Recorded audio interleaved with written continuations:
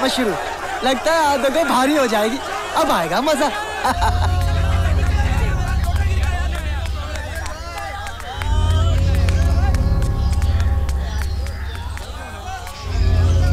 देखो नटू भाई इधर है ना जेल के अंदर तो अपुन का राज चल रहा तो है। थोड़ी में चल। वो देखो।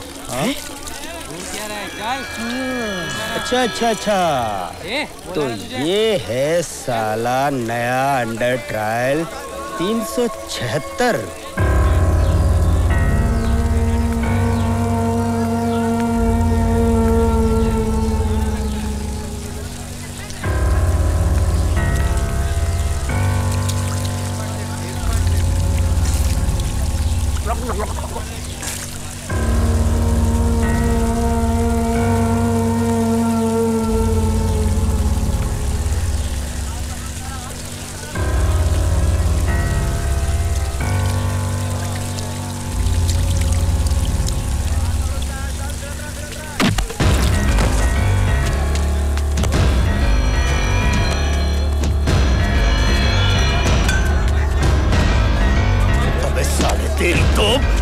वाट लग गई। अब आएगा मज़ा।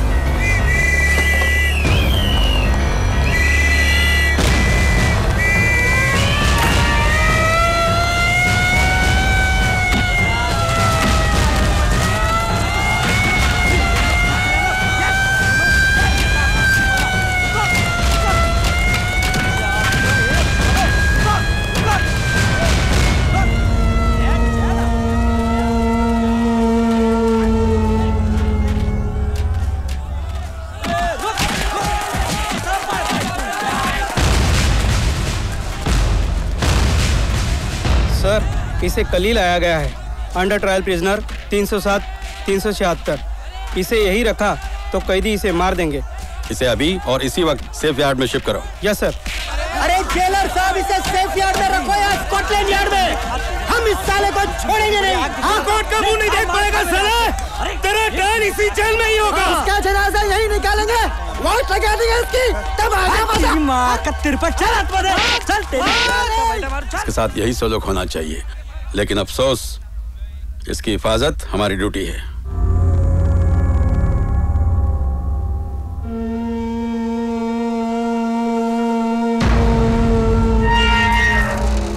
याला पाच नंबर मध्ये टाक।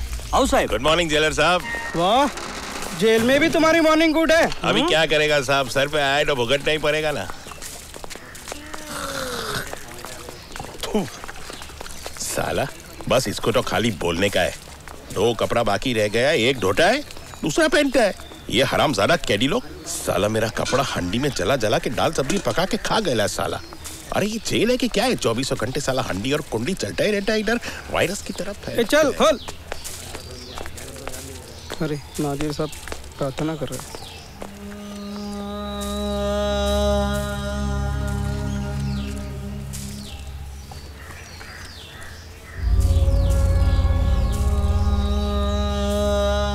नादिर साहब ये सागर हुसैन है। जनरल यार्ड में था। वहाँ के कैदी इसकी जान लेने पर तुले हैं। आठ साल तक इसने अपनी तीन सगी बेटियों पर लगातार रेप किया है। हरामी कुत्रा आ थू। ए चल।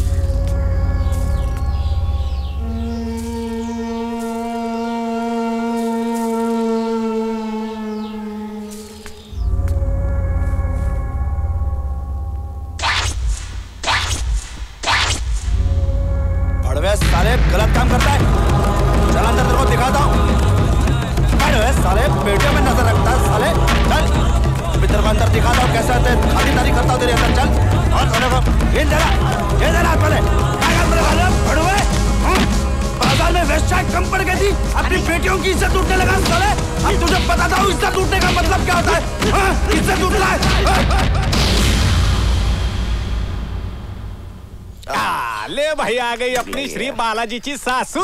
क्या मतलब? अरे श्री बालाजीची सासू म्हणजे छप्पन भोग। मतलब? अरे मतलब श्री से श्रीखंड बासुंदी लाडू जिलेबी चिरंजी साखर भात आणि सुधा रस। चल खा पटापट। ए सागर हुसैन भत्ता खा ले। चल कोर्ट के लिए जाना है। चल जल्दी। ए दो रोटी और दे देना तेरे बाप का क्या जाएगा? सरकारी माल है। ए ए पेट ए वायरस भाईजान सलाम वालेकुम। वालेकुम सलाम। आपके लिए कुछ लाऊं क्या? शुक्रिया। वो लड़का लेने गया है। अच्छा चला सेशन कोर्टाचे आरोपी एक दोन तीन चार पाच सहा सात आठ।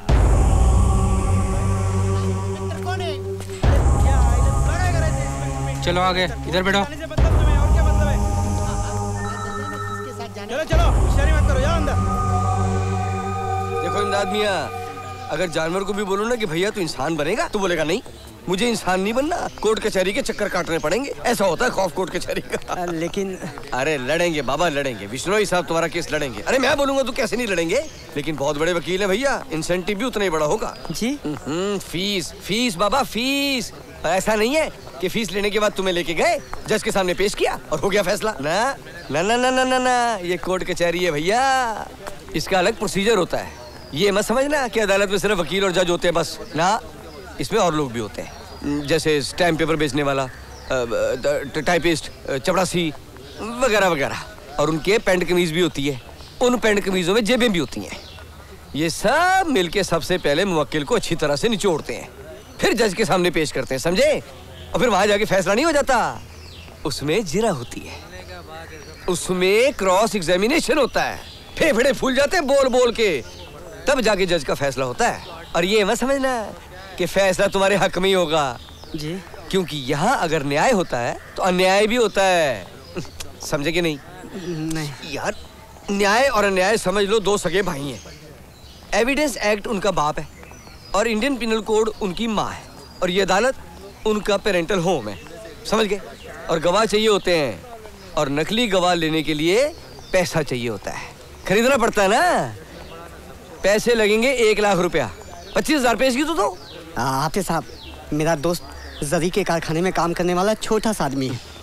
अबे छोटा सा आदमी है तो इतना बड़ा गुनाह क्यों किया? औकात देख के गुनाह करता ना? तू तुम्हें काम करो किसी और को देखो मेरे पास टाइम नहीं है। हाँ, आपके साहब हाँ। मेरे पास पाँच हज़ार रुपए अबे पाँच हज़ार क्या? मैं तो पाँच सौ रुपए भी ले लूँगा। लेकिन क्या है कि अपने अपने वो बिश्नोई साहब है ना? जी। उनको जब तक नोट ना दिखाओ ना वो कोर्ट में नहीं आते। अबे ये क्या है? एक एक रुपए के नोट। अबे किसी से खैरात में लाए हो या किसी दरगाह के मुजाबिर हो हैं? जी। जी चलो कोई बात नहीं। जो अपने से आता आने दे। चलो चलो चलो। कहाँ है हमारा मुवक्किल? आइए। आपके साहब ये मेरा दोस्त सागर हुसैन है। इसी का केस लड़ना है। ये? तीन रेप किए बे हैं? अबे तीस भी किए होते तो भी विष्णु साहब बचा लेते। सुन जी। अब अपना अपना काम आज से बांट लेते हैं। तू कैश पे ध्यान दे हम केस पे ध्यान देंगे।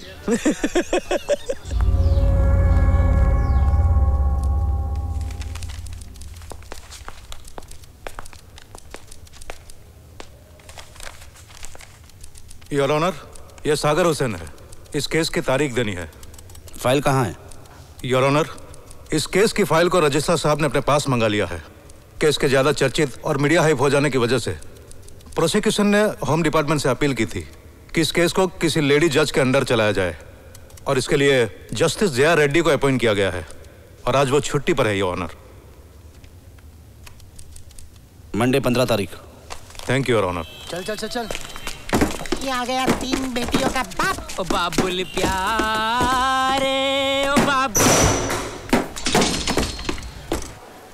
सर इसे चोट पुलिस कस्टडी में आई है। इसे सीएमओ के पास भेज दो और उसकी चोट और बयान की रिपोर्ट कोर्ट भेज दो। अगर यहाँ ऐसे कुछ हो गया तो सारा कुछ जेल प्रशासन के सर पे आएगा। मेजर इसे हॉस्पिटल ले जाओ। उबारा बाबा। गुदगुदी होता सब। उबारा। सब। खड़ा रहे सीधा। चल जा। चल जा। ए चल इधर ये तिरपट ए रुक। ए पप्पू इधर आओ। सब। क्या है इसमें?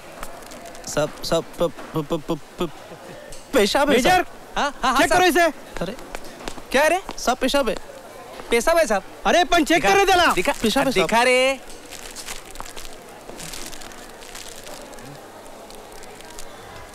साहब ये तो मीठा तेल है साहब। क्यों बे? इसे हंडी के लिए ले जा रहा था कुंडी के लिए? साले तू कुंडी के हाँ, लिए तो तो है नहीं। बोलना। जरा। अंदर जाकर हंडी वालों को बेचेगा। इस पर खटला लगाओ। चल रे चल। समझा गए। तेल लेके आता है जेल में। अबे आ गया तिरपट वो बता क्या हुआ? हाँ सुन पहले मेरी सागर का केस जीआरडी की अदालत में गया। अब। लाइफ लग गई उसको कोई नहीं बचा सकता। इतनी कड़क जीआरडी अबे मैं यहाँ हूँ तो किसकी मेहरबानी से हूँ? अरे था ना लोकल ट्रेन से जा रहा था। सामने एक सुंदर सी लड़की खड़ी थी। मैंने उसके पिछवाड़े मुंगफली मार दी। पीछे हवलदार खड़ा था पता नहीं धल लिया मुझे अंदर। अदालत तुम्हें छह महीने की सजा सुनाती है। लेकिन जज साहबा मैंने तो सिर्फ़ उसको मूंगफली मारी थी। हाथ भी नहीं लगाया था। हाथ लगाया होता तो चार साल की सजा सुनाती। लेकिन जज साहिबा शराब क्या समझ रखा है तुम लोगों ने औरतों को? बारबी डॉल जब जी चाहा छेड़ दिया एसिड फेंक दिया रेप कर दिया ले जाओ इसे। सोचो अगर मैं उसको पिछवाड़े चिकोटी लेता तो मैं तो गया था ज़िंदगी भर के लिए। सागर को कोई नहीं बचा सकता। लग गई उसके। अब आएगा मज़ा ए काय चाले तिकडे? काय चाले चलो। अंदर जाओ अंदर जाओ। ए मेजर साहब क्या है? मेजर साहब मेरा ये लेटर जरा पोस्ट करवा देंगे? बीवी को लिखा है क्या? और किसको लिखूँगा साहब? जो पिछले छह महीने से यहाँ रह रहा हो उसे और कौन याद रख सकता है ठीक है गेट पर पहुँचा देता हूँ। चल जा चल। जलाराम बापा आपका भला करेगा। साहब, चलो। मेहरबानी होगी। ए, मारो हेलो साहब। ए। सर एक कैदी नड्डू जामुड़िया ने ये चिट्ठी दी है पोस्ट करने के लिए। आप इस पे साइन कर दीजिए सर। अरे ये तो गुजराती में अरे सोलंकी। हाँ साहब। कम इसे पढ़ो और बताओ इसमें क्या लिखा है।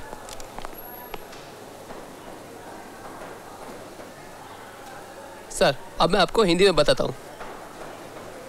लच्छी, तेरी बहुत याद आती है। पत्थर के फर्श पर करवटें बदल बदल कर अकेला रात गुजारता हूँ। कब छूटूँगा पता नहीं। तेरे हाथ पैसों से तंग होंगे। सुन, देखो जो पीले अनाज की गठरी मैं जूनागढ़ से लाया था। उसे कुएँ वाले खेत में बो दिया था। खोद कर निकाल लेना। और सुन, अनाज का ज़्यादा दिखावा मत करना। एक एक दाना बेचकर घर के अंदर रानी की तरह ठाट से रहना। और बाहर ऐसे दिखावा करना जैसे तू दाने दाने की मोहताज है। उम्मीद है खत का मतलब समझ गई होगी। तेरा मरद नटू जाम्बुडिया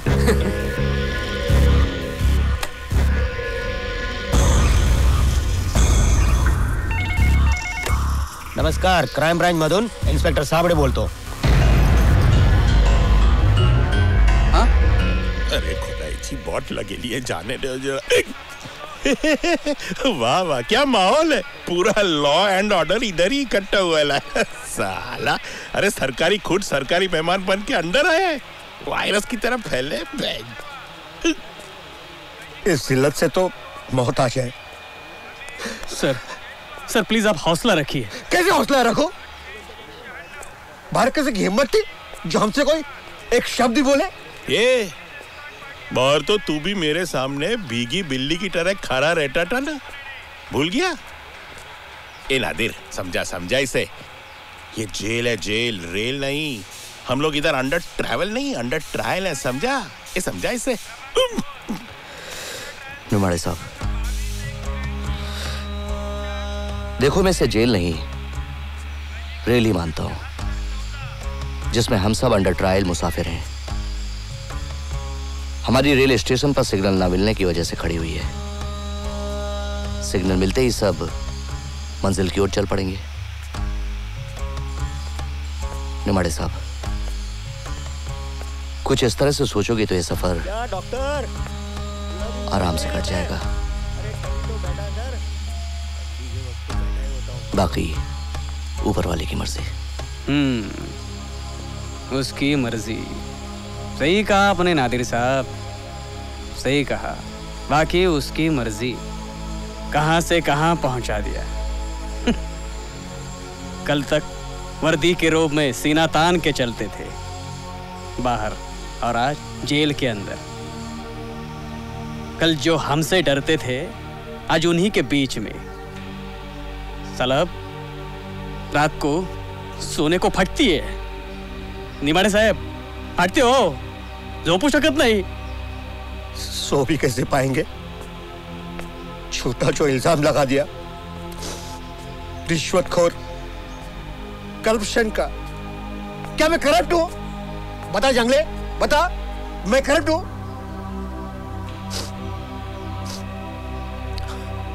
और करप्शन कहाँ नहीं है? अच्छी नौकरी चाहिए। करप्शन, रिश्वत दो आप। अच्छी पोस्टिंग चाहिए, रिश्वत दो आप। मैंने तो सिर्फ़ एक केस में किसी को जेनविनली मदद की और मुझ पर इल्ज़ाम लगाया। रिश्वतखोरी। छी! सर गलती हमारी भी है ना? हुँ?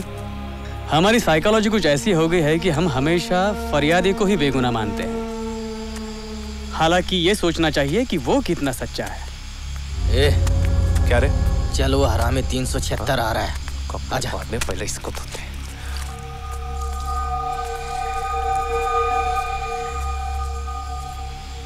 ए दाढ़ी। सर्कल में तेरी धुलाई अधूरी रह गई थी उस दिन। टीचर आइला आज इसको पूरा ही धुड़ालते हैं। देखो मुझसे मत उलझो। तुम्हें पता है ना मुझ पे कौन सा इल्ज़ाम लगा हुआ है? मैं किसी का नहीं हूँ। सोच लो। सोच तो कब का लिया है बे मौका अभी मिला है तू तो गया आज तुम लोगों से कितनी बार कहा है? ऐसी हरकत मत किया करो। नादिर जी आप बीच में बताइए। मैं बीच में नहीं आ रहा हूँ। बीच में तुम लोग आ रहे हो। देखो भाई हम सब लोग यहाँ पर एक जैसे हैं। अगर उस पर एक इल्ज़ाम लगा है तो तुम पर भी कई इल्ज़ाम लगे हैं। और उसने कोई गुनाह किया है तो उसका फैसला ऊपर वाला करेगा। तुम उसके बीच में क्यों आ रहे हो? जाओ। जाओ भाई। आज भी बच गया। नादिर की वजह से सागर बच गया भाई। ये नादिर सागर का बहुत ही हिमायती होते जा रहे हैं हाँ? नादिर को हिमायत करने के लिए जेलर साहब ने बोला है। अच्छा? जी। ए छबरी हाँ। चल जा मुना पत्ते वाले को बुला के ला हाँ अभी भेजता हूँ। ये जेलर फेलर कोई उसको बचा नहीं पाएगा। उसकी मौत सेफ़ यार्ड में ही होगी समझे? भाई आपने याद किया? मुन्ना अब जब भी तू सेफ़ यार्ड में जाएगा ना बत्ता लेकर हाँ। तब ये मोहसिन को दे देना। चल वट ले बंटा अरे आंडी हुआ कि नहीं? हाँ भाई हो गया। आओ मुन्ना। अस्सलाम वालेकुम भाई। वालेकुम सलाम भाई। कैसा भाई? बढ़िया भाई। मेजर खड़ा है।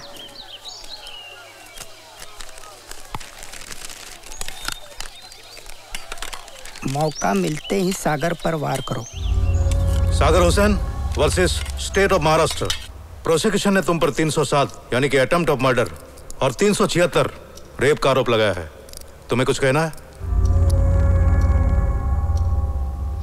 अरे बोलो मेरे खिलाफ सारे सबूत झूठे हैं। मैं बेकसूर बोलो। Mister Apte please silence. Sorry मैं बेगुनाह हूँ। Public prosecutor mister Anand Verma yes your honour क्या आपने डिफेंस को विटनेस लिस्ट और दूसरे तमाम पेपर्स दे दिए? Yes your honour mister Verma तीन दिन में विटनेस पेश कीजिए। मैं बीस दिन में ये केस खत्म करना चाहती हूँ।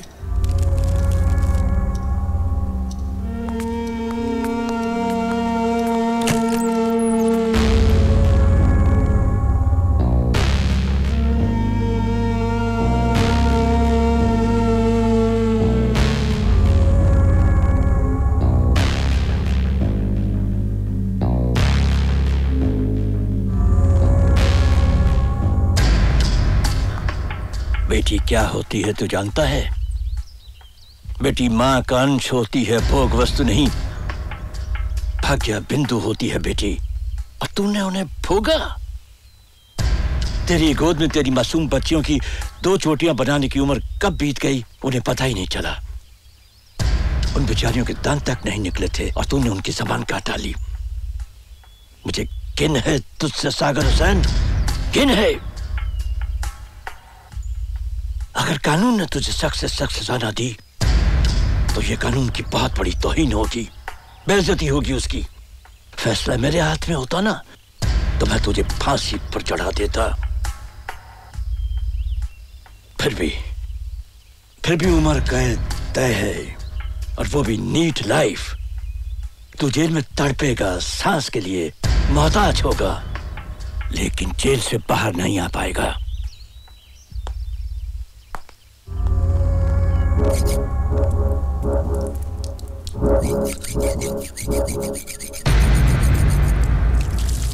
भाई भाई, सागर कोर्ट से वापस आ रहा है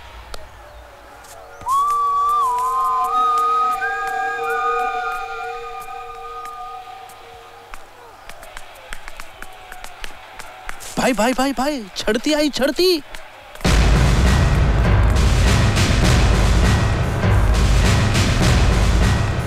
चला प्रत्येक खोलीमध्ये एक एक जण जाऊन धरती घ्या चले बाजू बाजू चल। सब क्या? झड़ती झड़ती मोहसिन साइड में। क्या क्या क्या छुपा के रखा है अंदर? मेरे इधर क्या मिलेगा साहब? ये क्या ये मटका हटा हटा चल। इधर चल। है साहब मेरी बात सुनो साहब मोबाइल? अरे चाइला और चार्जिंग के लिए वायर भी। साहब टेलीफोन एक्सचेंज किधर किधर क्या क्या छुपा के रखा है रे साले? कापनी? मर्डर करने के लिए रखी थी रे कापनी? चल आईला बाहर दाखव तुला चल। क्या करूँ? माहौल का असर है। अभी क्रिमिनल्स के बीच रहेगा तो गाली क्या? मर्डर करना भी सीख जाएगा। चल निमाड़े, एक नया बात बताता है। कि भगवान ने ना ये पूरा दुनिया बनाया। फिर आराम किया। फिर उसके बाद ये पेड़, पौधा, पक्षी लोग को पैदा किया। फिर आराम किया। उसके बाद मर्द बनाया। उसके बाद फिर आराम किया। उसके बाद साली औरत बनाई। और उसके बाद ना भगवान ने आराम किया, ना मर्द को आराम करने को मिला। ए निमाड़े हंसना जोक तारे जोक बंदी बंदी टाइम चले बंदी टाइम क्या नादिर साहब ये बंदी का डंका सुनाई नहीं दिया क्या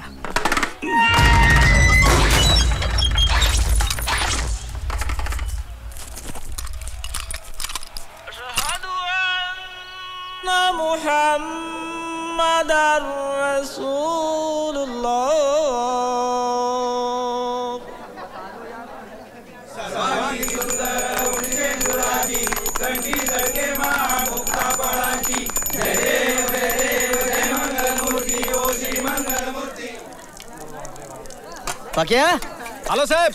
क्यों? हांडी पका रहा है क्या? हो साहब। मेरे लिए भी थोड़ी चाय रखना। वायरस वाली चलेगी क्या? ए ये वायरस क्या होता है? अरे वो अपना बाबा जी है ना उसका टूथब्रश चुरा के जला के बना रहे हो वायरस की तरह फैला है पाली वाले। ए गवर्नर बुला रहा है। हाँ, जाओ जाओ जाओ। और रात पाली वाले। कहा इंस्पेक्टर साहब?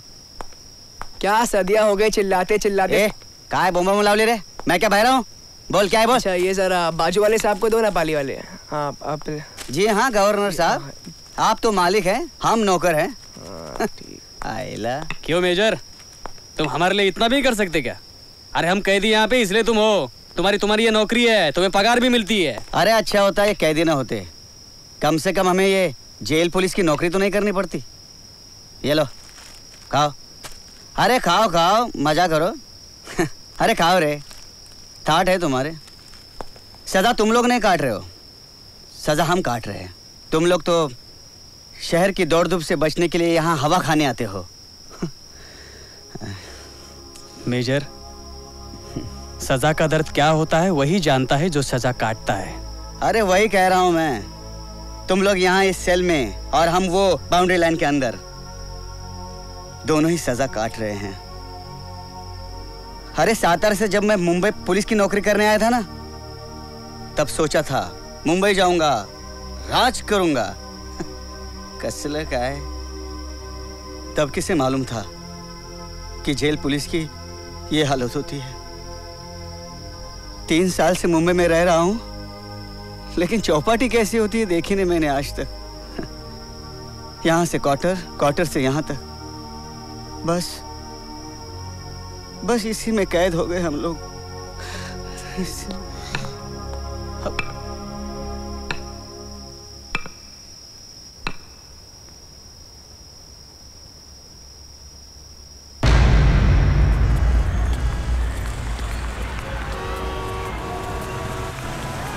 इधर से।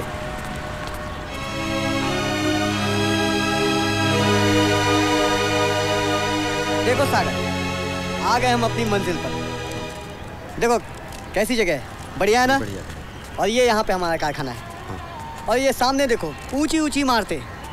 और यहाँ पे हमारे काम करने की जगह है। और हाँ कल से ये तू पीली शर्ट और काली पैंट मत पहनना। अरे लोग यहाँ तुम्हें टैक्सी बोलेंगे मुंबई में समझे क्या? आजा और ये देख ये पूरी बस्ती अपनी है। देख ले यही अपना कारखाना। सलाम वालेकुम मोहम्मद भाई। वालेकुम आपसे बात की थी ना? यही अपना दोस्त सागर हुसैन। आज से तेरा रहना खाना पीना उठना बैठना सब यहीं पे होगा।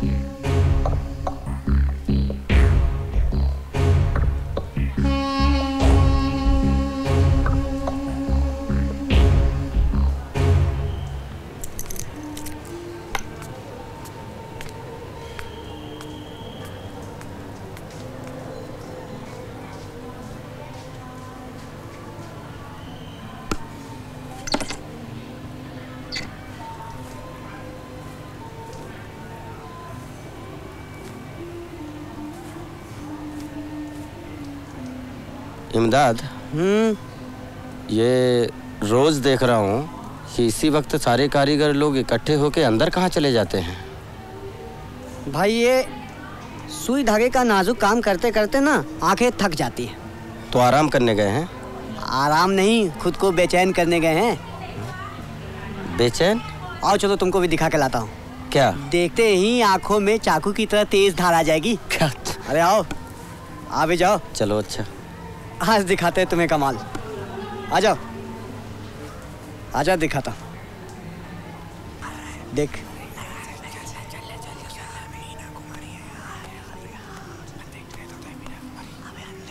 डेढ़ फुट क्या देखते जा अरे मियाँ हमें भी दीदार करने दो। क्या भाई? आप पिया हुआ के कौआ हो गए। अरे भाई मैं भी हार मांस का बनाऊँ चल आजा अरे आजा कैलेंडर दो साल तक आँखों पे चश्मा नहीं चढ़ेगा। देख देख।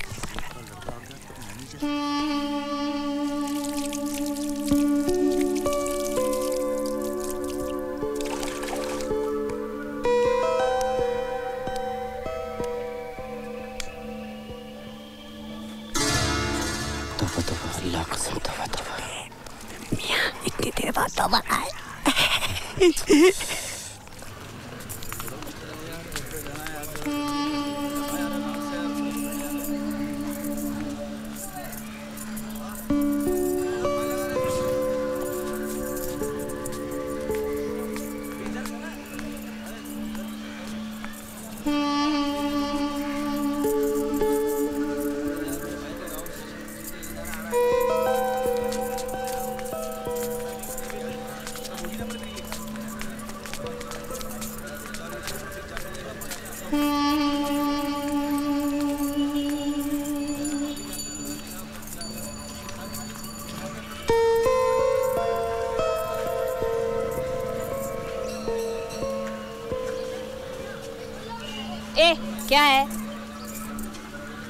निकल।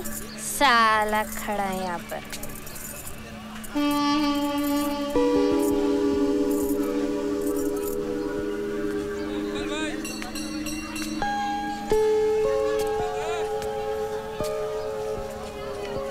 क्या?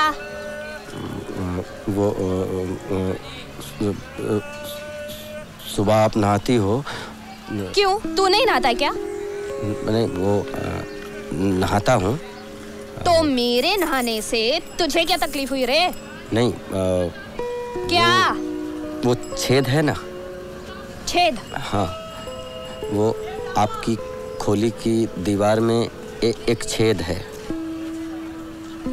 तो जब आप सुबह नहाती हो तो सब लोग आपको देखते हैं। कौन देखता है? नहीं वो कारखाने के कारीगर। तुम सारे मर्द लोग बहुत कमीने हो बहुत कमीने हो। मेरी- पता चल जाए एक औरत अकेली रहती है तो उसे कुत्ते की तरह सूख लेते हो। दरवाज़ा बंद हो तो दीवार में छेद कर देते हो। नहीं मैंने छेद नहीं किया। चल अरे आप नंगा कर दूँगी तुझे यही पर। अकेली औरत को रहने भी नहीं देते ये लोग।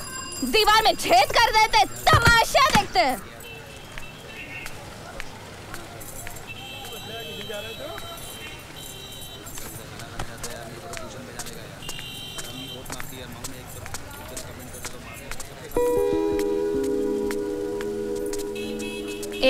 मुझे देखकर तेरी गर्दन क्यों लटक गई? हाँ? मैं खाना खाने जा रहा हूँ। सुन अरे। खाना खाने जाता है। तो क्या गर्दन लटका के जाता है? अच्छा चल एक बात बता। तुम लोग कब से मेरे घर में देख रहे हो? मुझे नहीं मालूम मैं तो पंद्रह दिन से यहाँ आया हूँ। पंद्रह दिन में तूने क्या देखा? क्या? वही जो दीवार से झांकते थे। आपको नहाते हुए। वैसे कारीगर लोग बोल रहे थे कि आपने वो छेद बंद कर दिया है। हम्म, हाँ अब तो तू भी नहीं देख पाएगा। देखना भी नहीं है। मर्द हूँ। फिर भी मुझे दूसरे की बहू बीवी देखना बिल्कुल पसंद नहीं है। मर्दों को वैसे दूसरों की ही बहू बीवी देखना पसंद आता है। वैसे तो ना मैं किसी की बहू हूँ ना बीवी। एकदम छड़ी हूँ मैं। कभी तेरा दिल करे ना तो मुझे बता देना। तेरे लिए सड़क खुला छोड़ दूँगी।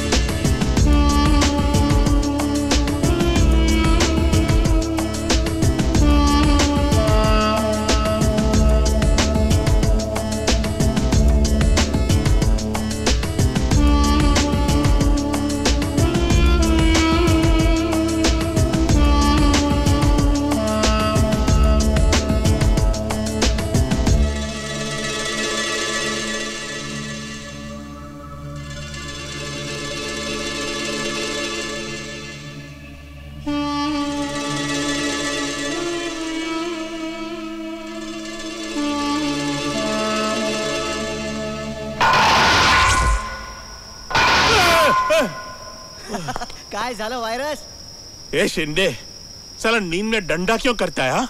अरे ड्यूटी चेंज हुई है। चेक कर रहा हूँ पिछले की ड्यूटी में कोई मरा तो नहीं? ए, साला पिछले का ड्यूटी में नहीं मरा तो क्या तेरा ड्यूटी में मारेगा? अरे सो जा सो जा सोजा सोजा? हैं? साला अब क्या खाक नींद आएगा? अब तो मरने के बाद ही नींद आएगा साला। वायरस की तरफ़ फैले बे- कल चमेली बाग में क्या है भाई? वही नादिर साहब का। हाँ हाँ डॉक्टर साहब ने स्पेशल प्रिस्क्रिप्शन जो दिया है और कोर्ट का ऑर्डर भी है। आपकी झड़ती लेनी पड़ेगी। हाँ। ठीक है। नादिर साहब अस्सलाम वालेकुम। वालेकुम सलाम। ये लीजिए आपका नाश्ता आ गया। नादिर साहब और कोई काम है क्या? न। खुदा हाफिज।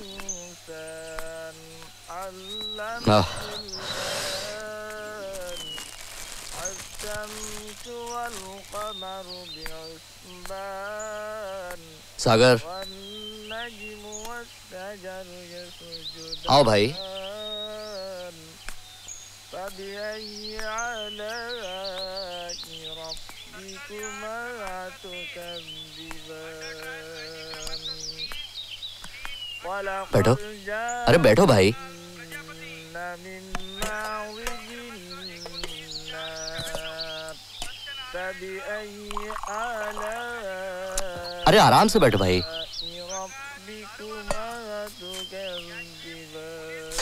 हम्म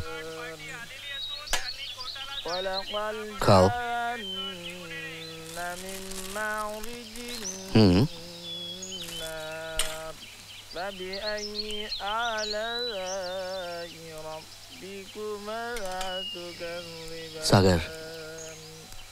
जब मैं बाहर था।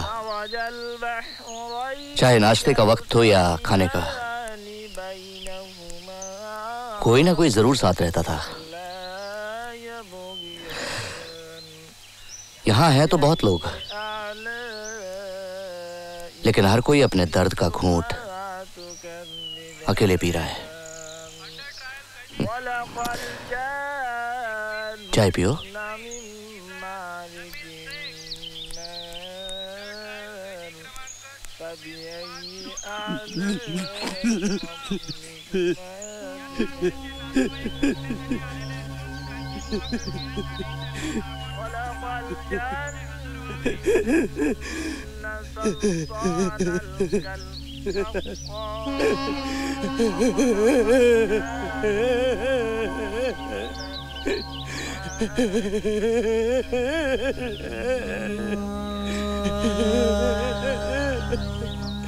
सागर।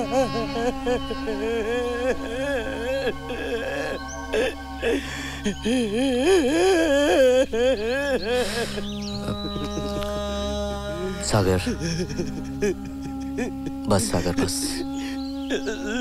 जब से पकड़ पकड़ा गया हूँ।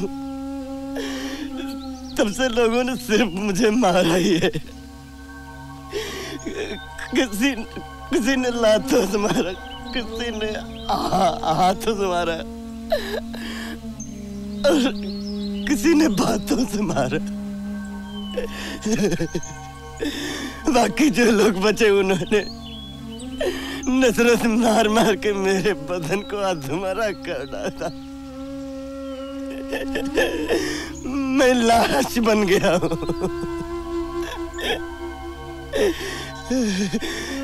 न- नफरतों की मार इतनी पड़ी है कि कोई फरिश्ता भी होता तो अब तक मर जाता। लेकिन मुझे मौत नहीं आई। क्या मैं इतना बड़ा गुनाहगार हूँ कि जान भी मेरे पैर पड़ने से नापाक हो जाएगा?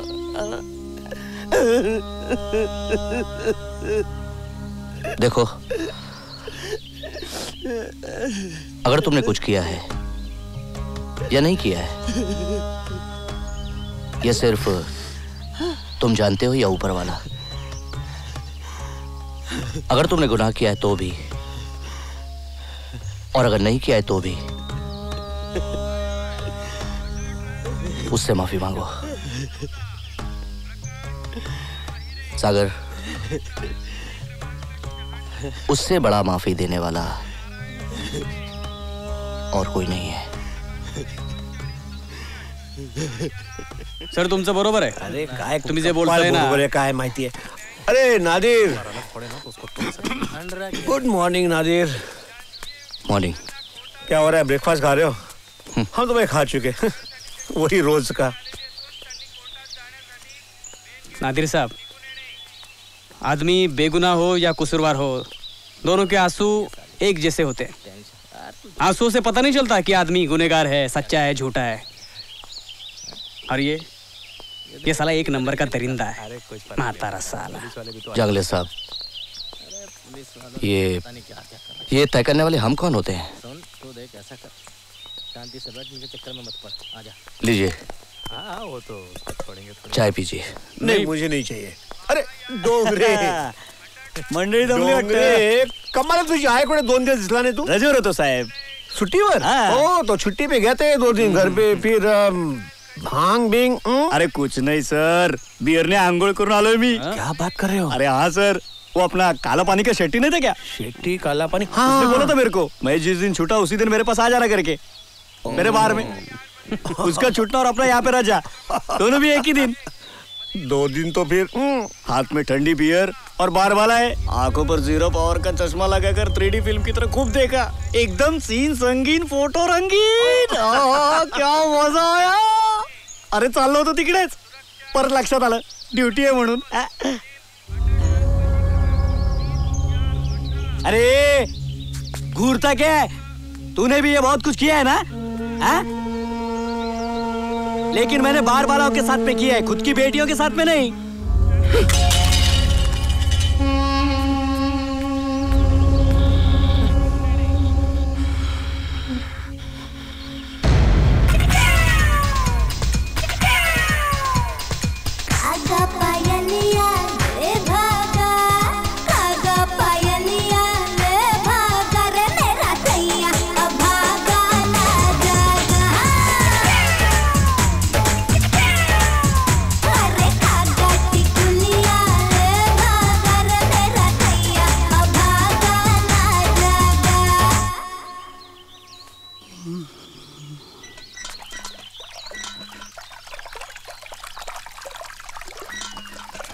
काय रे हा? क्या आ, देख रहा है? नहीं मेजर साहब ये पानी कहाँ जाता होगा? बाहर। अच्छा ये पानी बाहर जाता है? हाँ। लेकिन आपने तो कहा था कि जेल के बाहर कोई नहीं जा सकता। और ये पानी आपके सामने बाहर जा रहा है और आप कुछ नहीं कर पा रहे। चल।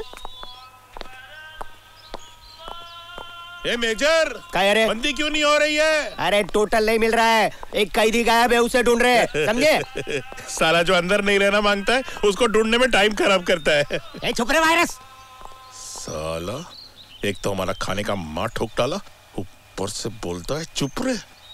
वायरस की तरफ़ फैले हुए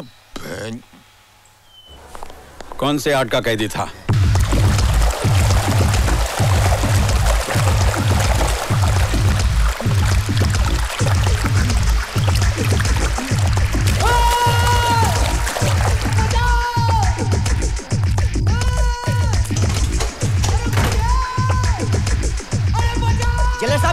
भाग रहा है एक कुंडी वाले इधर आओ एक एक करके नीचे उतरो और निकालो उसको अरे उतर बाहर। चल उतर उतर नीचे उतर नीचे चला चला चला चल चला आराम से उतरो देख रहा चल मैं नहीं जाऊँगा मेरे कपड़े गंदे हो जाएँगे उतर जल्दी अरे उतर- उतरता है क्या उतर अरे अरे साले कहाँ कहाँ से? निकले के रास्ते पता नहीं कहाँ तक निकल गया होगा वो। पकड़ के लाना उसे। उसके साथ भागना नहीं समझे? मिला क्या?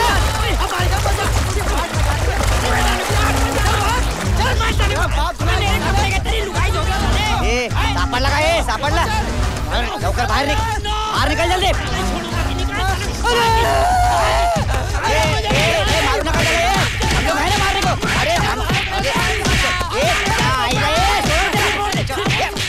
डॉक्टर साहब इतना समय बीता है और भी कट जाएगा।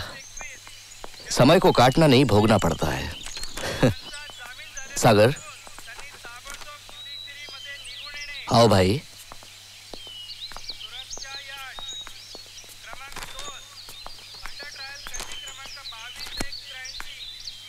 हम्म बैठो। कोर्ट से आया। क्या हुआ? कोर्ट गए थे ना? हम्म? बोलो भाई। आज मेरी बड़ी बेटी ने गवाही दी। रात को जब हम सब सो जाते थे तो अबू शराब के नशे में आते थे और और मेरे साथ गलत करते थे। मैं चिल्लाती तो मेरा मुँह दबा देते और मुझे जान से मारने की धमकी देते थे। अबू ने हम तीनों बहनों के साथ गलत किया है। हमारी पाकिज की दोशीज की को लूटा है। हमारे अबू ने हमें कहीं का नहीं छोड़ा।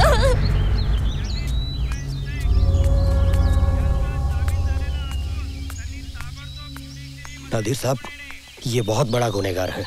इसने अपनी बेटी की इज़्ज़त लूटी है। ये सुनकर ही सर शर्म से झुक जाता है। नहीं डॉक्टर साहब मुझे लगता है ये बेगुनाह है। नहीं नहीं बेटियाँ इस तरह अपने बाप की कभी बेइज्जती नहीं करेगी कभी इल्ज़ाम नहीं लगाएगी। नादे साहब भत्ता और पानी का मटका रख दिया। आज मेरे को जल्दी है जेल में आज कुरंडी है। ये कुरंडी क्या है? अपुन के साथ तेरी आखिरी रात है।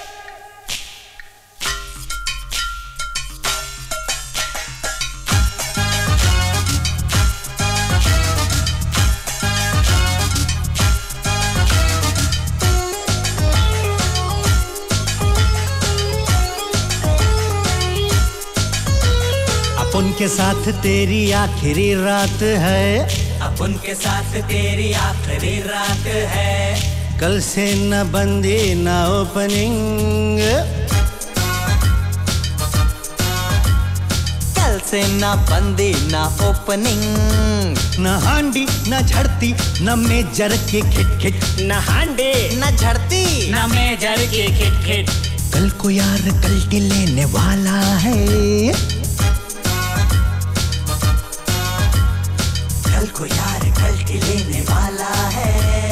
बाहर जाके क्या क्या करने वाला है?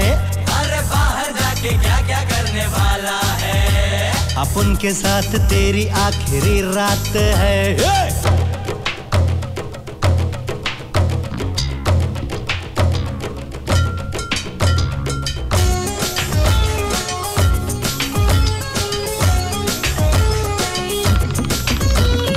छप्पन भोग ये खाएगा। भाभी से आँख लड़ाएगा। शाम से ही साला ये बत्ती बुझाएगा। शाम से ही साला ये बत्ती बुझाएगा।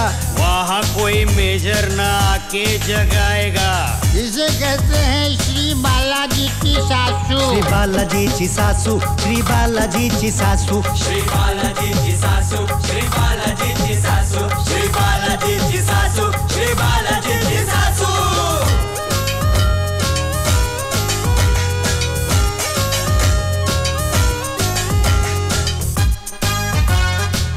बाबा कल से तो तेरा स्टाइल चेंज नशे के लिए टैक्सी मेजर पैसे न खाएगा। ना बटन मंगाने का लफड़ा रह जाएगा। बाहर जाके मस्ती से पिएगा पिलाएगा। बाहर जाके मस्ती से पिएगा पिलाएगा।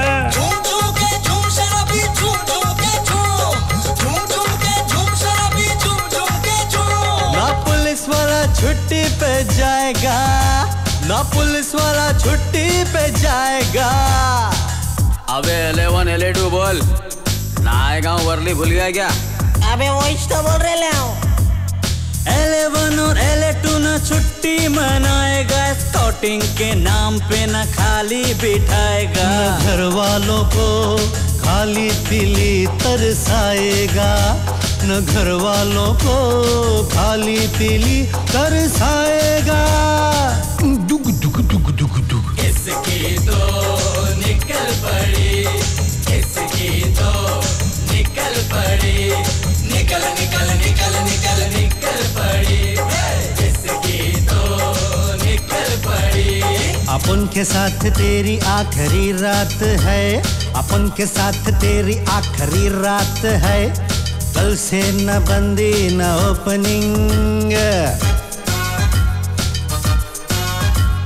कल से न बंदी, न ओपनिंग। न हांडी, न झड़ती, न मेजर की खिट कल को यार कल्टी लेने वाला है।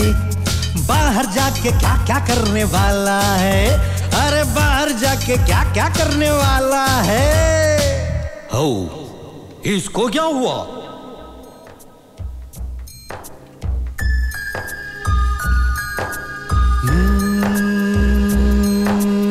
कितने दिनों बाद बेटी से मिलूँगा। पूछेगी कहाँ थे तो क्या मैं कहूँगा?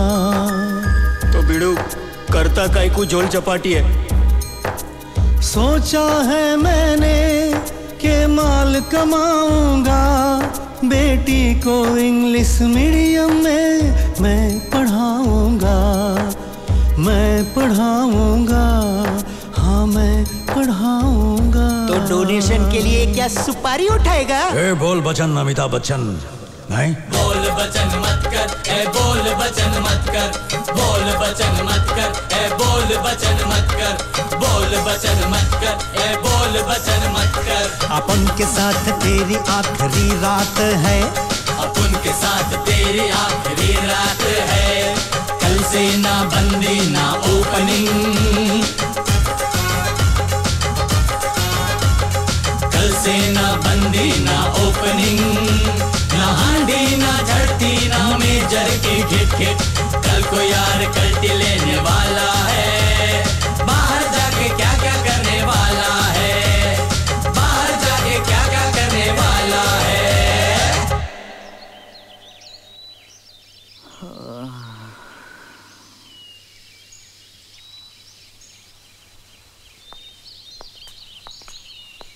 चल बुड्ढे आज तेरी आँखों को ठंडक दिलाता हूँ थ्री दिखा के। चल तेरी तो। हैं? चले मेले चल हाथ बदे अंदर कौन जाएगा? ए चल पुड़े तेरी तो। सुनो मैं तुम्हें कुछ दवाई लेके देता हूँ। सवेरे सफ़ेद वाली गोली लेने का दोपहर को पीली वाली गोली लेने का और शाम को सोने से पहले ये नीली वाली गोली लेने का। तुम साला डॉक्टर कोई भी बीमारी हो यही तीन गोलियाँ उठा के दे देते हो। ये बस सच्ची सच्ची बता डॉक्टर। ये गोलियाँ सचमुच रामबाण है? या फिर तू फोकट में सबका चूतिया बनाता है हैं? डॉक्टर मैं हूँ या तू है? अरे गोलियाँ मुझे खानी है तुझे। मेरे पेट में जो अल्सर है वो यहाँ के खाने और दवाइयों से हुआ है। और अगर मैंने और दवाइयाँ खाई ना तो मेरा अल्सर कैंसर बन जाएगा। फिर नहीं खानी मुझे तेरी दवाइयाँ। डॉक्टर मुझे दवाई देगा। Next. वही की वही गोलियाँ वही की वही दवाई। कोई भी बीमारी हो एक ही दवाई। कमाल जेल साली है हैं? क्या हुआ है तुम्हें? कुछ नहीं हुआ डॉक्टर साहब मुझे। मैं बिल्कुल फिट हूँ। लेकिन अगर कुछ नहीं हुआ ना तो बहुत कुछ हो जाएगा। पर हो क्या रहा है? मुझे जो खाना यहाँ मिलता है वो खाना मैं नहीं खाता। वो खाना मुझे खा रहा है। और आप सचमुच चाहते हो कि मैं ज़िंदा रहूँ तो मुझे प्लीज़ एक दूध और पाव का प्रिस्क्रिप्शन लिख के दीजिए। अरे ये जेल है तबेला नहीं। डॉक्टर साहब मैं एक वर्दी वाले का लड़का हूँ और मेरे बाप के पास बहुत पैसा है। आप मुझे यहाँ दूध पिलाएँगे और मेरा बाप आपके घर पे दूध का पैसा भिजवाता रहेगा। सॉरी मैं ऐसा नहीं कर सकता। माला माल हो जाओगे। दूध गवर्नमेंट का और कीमत आपको मिलेगा। और वो भी बाज़ार से डबल भाव में। प्लीज़ खाते पीते परिवार का हूँ।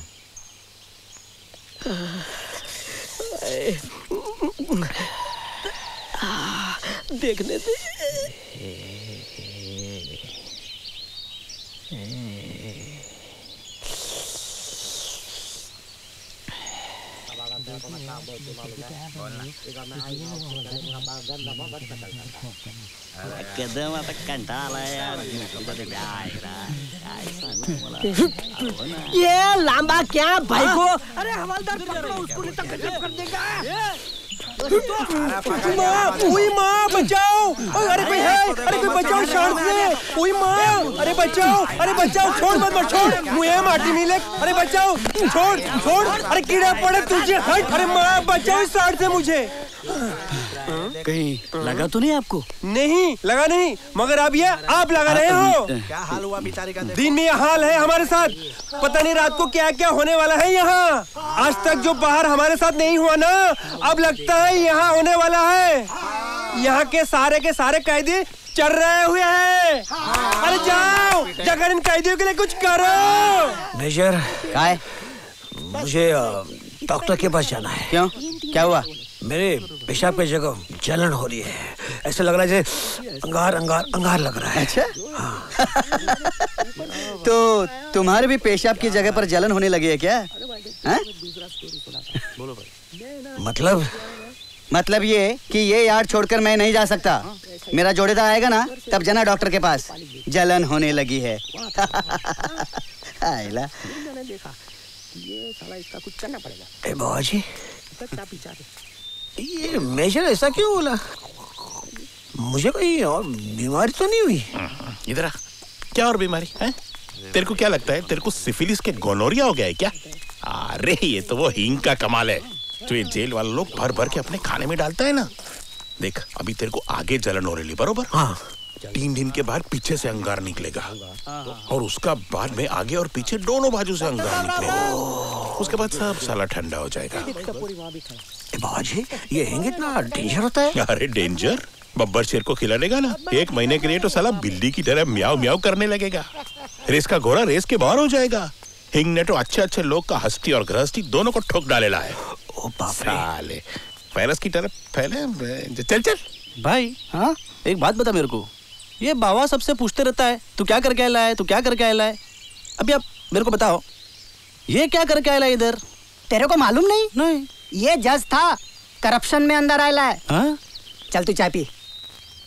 हाय हाय हाय हाय हाय हाय हाय हाय हाय। अरे जैसे ही उसके दोनों गाल मेरे हाथों में आए तो मुझे ऐसा महसूस हुआ कि मान लो मेरे हाथों में तंदूर से निकले हुए दो गरम गरम गुलाब के फूल आ गए हों। थोड़ी से मर्दाना। थोड़े से जनाना। आज रात तो मेरे सपने में आएगी और मुझे गुदगुदी करेगी। अब तुम लोग जाओ जाओ। अब मैं तो अभी से सो जाता हूँ। एक दो तीन चार।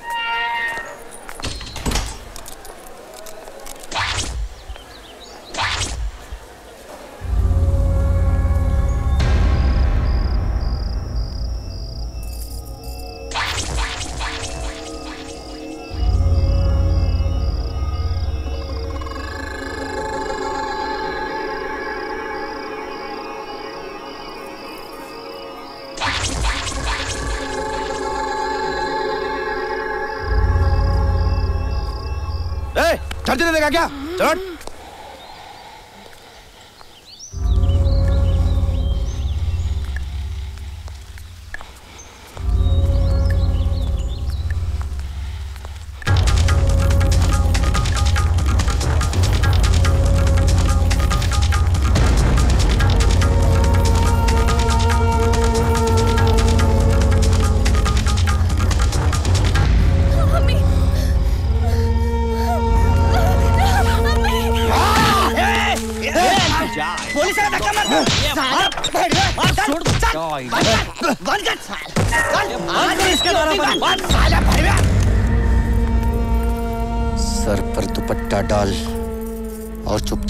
मेरे साथ किसी की तरफ़ देखना नहीं और किसी से कुछ बोलना नहीं।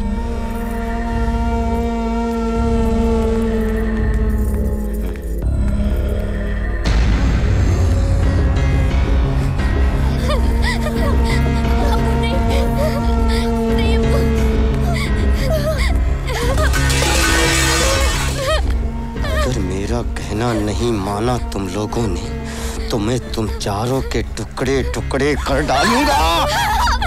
ये मेरा बाप नहीं, जानवर है, वहशी है। इसने हमारी इज़्ज़त लूटी, हम मिस्त्री की, हम लोगों को मारकर, गालियाँ देकर, मुँह में दुपट्टा ठूस कर हम इसे अपना अब्बू मानते रहे, और ये ये हमें औरत समझकर हमारे बदन को नोचता रहा रोनता रहा। मुँह खोलेंगे? तो जबान काट डालेगा। इस डर से सिर्फ़ रोते रहे। चुपचाप ज़िंदा लाश की तरह। लेकिन जब इसने छोटी बहन रुबीना की इज़्ज़त पर हाथ डाला तो हमारी खामोशी टूट गई और हमसे चुप नहीं रहा गया। डर लगता है हमें। इसकी शक्ल देखकर, इसका चेहरा देखकर।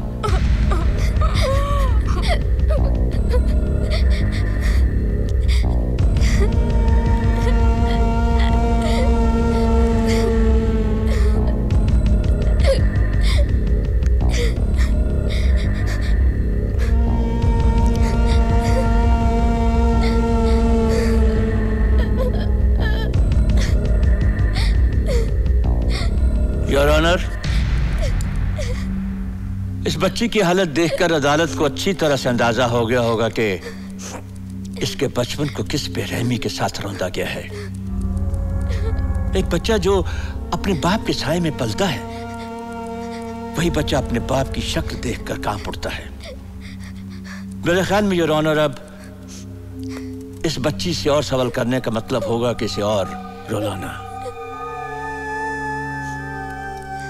नेक्स्ट विटनेस योर ऑनर मेरे दूसरे गवाह हैं mister Vijay Amre. Please mister Amre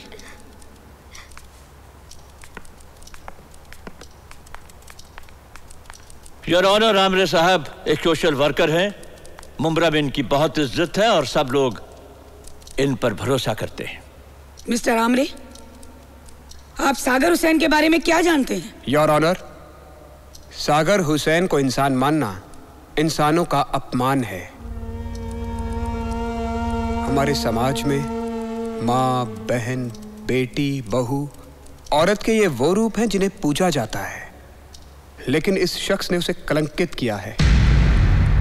your honour सागर हुसैन से मेरी कोई जाति दुश्मनी नहीं है।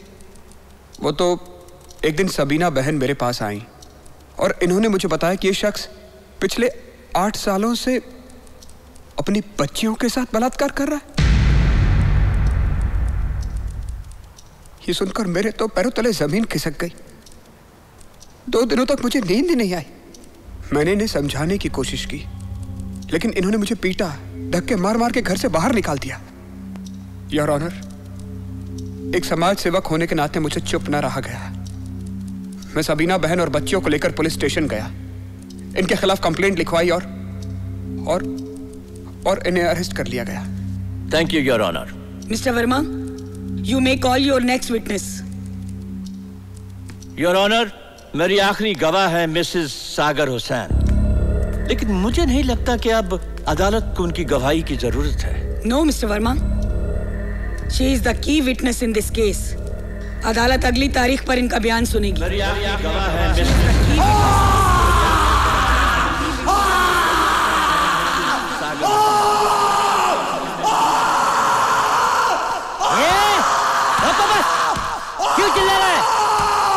सब लोगों को जगाएगा क्या? अरे अच्छा आयला हा गप्पच बसत नाही चुप हो जाने तो तेरा सर फोड़ दूँगा।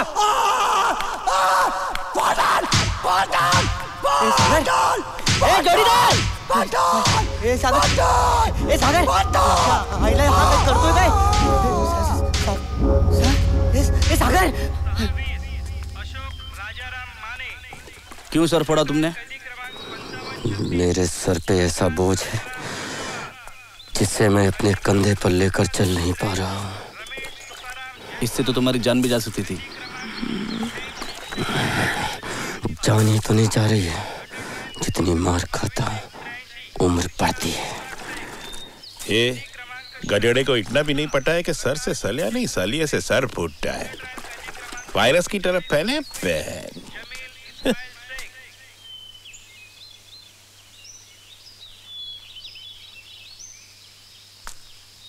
नादिर साहब, देखा आपने कैसा पछता रहा है? गुनाह खुद गुनेगार को सर पटकने पे मजबूर करता है। करता है मजबूर। अब कुछ नहीं होने वाला। अब सिवाय सर पटकने के, उसके हाथ में कुछ भी नहीं है। रास्ता है ही नहीं उसके पास। मुलाकात, सागर हुसैन।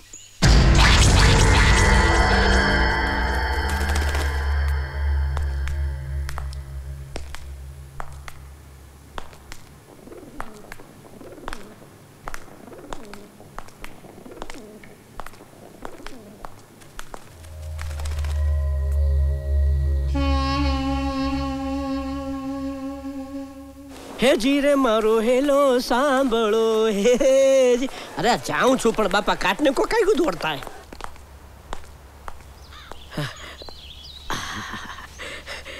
जय जलाराम जय जलाराम ये क्राइम ब्रांच के ऑफिसर हैं तुमसे कुछ पूछताछ करने के लिए आए हैं अ, ब- अब काई का पूछताछ साहब जब मैं पकड़ा गया था तो 21 दिन का कोर्ट से रिमांड लेकर आपने मुझे कितने सवाल पूछे थे अ, कितना पीटा था याद है ना? माल कहाँ है? कौन सा माल? ये लेटर पहचानता है? हाँ? अरे ये लेटर तो मैंने अपनी बहरी को लिखा था। आपने अभी तक पोस्ट नहीं किया? इस लेटर को पुलिस के पास भेजा गया था क्योंकि इसके मजमून में हमें शक था। माई बाप इस उम्र में मैं लव लेटर तो नहीं लिखूँगा ना? ये पीले अनाज की गठरी क्या है जो तुमने खेत में छिपा रखी है? ये वही सोना है ना जो तुमने जूनागढ़ में चुराया था? सोना? मुंबई क्राइम ब्रांच को बेवकूफ़ समझता है? तू कोर्ट में लिखेगा और हमें समझ में नहीं आएगा। पूरा खेत जोत डाला, मगर सोना नहीं मिला। कहाँ छुपा है? आपने मेरा पूरा खेत जोत डाला? अरे जलाराम बापा, तुम्हारी मेहर थी बापा। Thank you thank you very much साहेब। बात ऐसा है साहेब, के पिछले महीने मुलाकात के लिए मेरी बीवी मुझसे मिलने आई थी। उसने कहा कि खेत जोतने के लिए पैसे नहीं है। अगर खेत नहीं जोता गया तो बच्चे भूखे मर जाएँगे। तो मैंने दिमाग लड़ाया। मुझे मालूम था कि जेलर साहब मेरी चिट्ठी पढ़ेंगे, उसे सेंसर करेंगे और सोने की लालच में मेरा पूरा खेत जुतवा देंगे। अबे तेरी तो माइंड योर लैंग्वेज साहब। इस वक्त मैं पुलिस कस्टडी में नहीं हूँ, जेल कस्टडी में हूँ। है ना साहब? एक तो आप कोर्ट की परमिशन के बिना मेरी पूछताछ कर रहे हैं। तो मैं कोर्ट में जाके जज साहब के सामने सारी बात बता दूँगा ना तो आपकी नौकरी चली जाएगी। है ना? बाकी एक काम आपने बहुत अच्छा किया। मेरा खेत जुतवा दिया। है जीरे मारो हेलो सांभळो हे। चले, बंदी। सीनियर का राउंड है, चलो। ए सीनियर का राउंड है चल अंदर। डंडा पड़ेगा ना बोलने का नहीं सांस भी हाँ। नहीं लेने देता है। अरे अभी खोल के टाइम नहीं हुआ और बंडी बंडी चालू हो गया। वायरस की तरफ़ फैले हुए। अरे जाओ देना बाबा कचरा डोक्याचा भात करतोय अरे चल, चल। हाँ हाँ तू जाना तेरी वायरस वाली खोली में जा रहा हूँ मैं। खुदा हाफिज। खुदा हाफिज।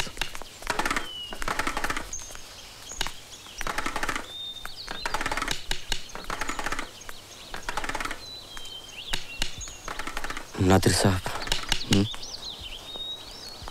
इसे पढ़ लीजिएगा। क्या ये? इसमें कुछ बातें हैं जो मैंने लिखी हैं पर मैं बोल नहीं सकता।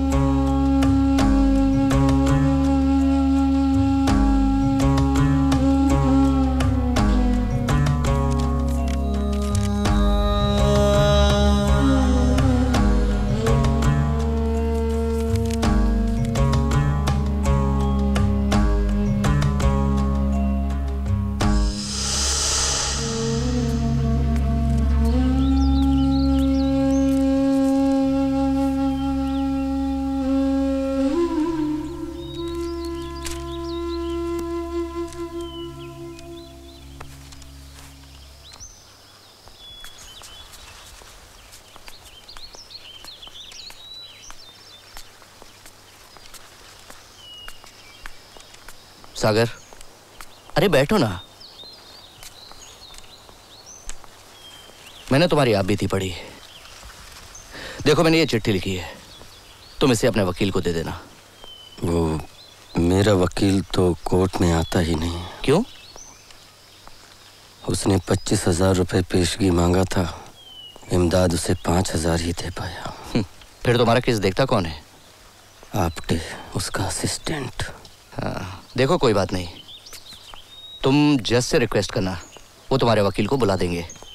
लेकिन एक बात है ये चिट्ठी किसी न किसी सूरत में तुम्हारे वकील तक पहुँच जानी चाहिए ठीक है? हम्म?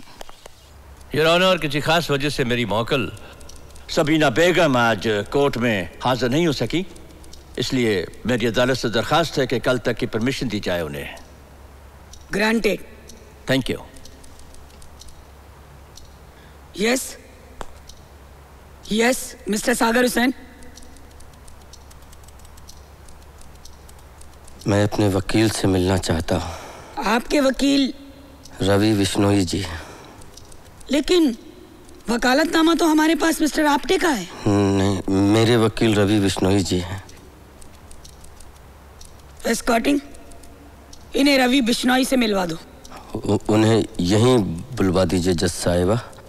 इन लोगों को जेल पहुँचाने की बहुत जल्दी होती है। मुझे लेकर सीधे जेल चले जाएँगे। ठीक है। उनसे कहो कि मैं मिलना चाहती हूँ।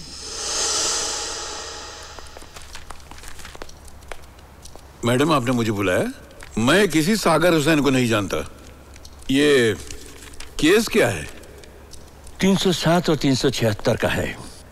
इस शख्स ने अपनी तीन सगी बेटियों का रेप किया है इल्ज़ाम क्या अब तो जुर्म भी साबित हो चुका है बस एक ही विटनेस बाकी है और मैंने तो मैडम को बोल भी दिया है कि उस विटनेस की कोई ज़रूरत नहीं है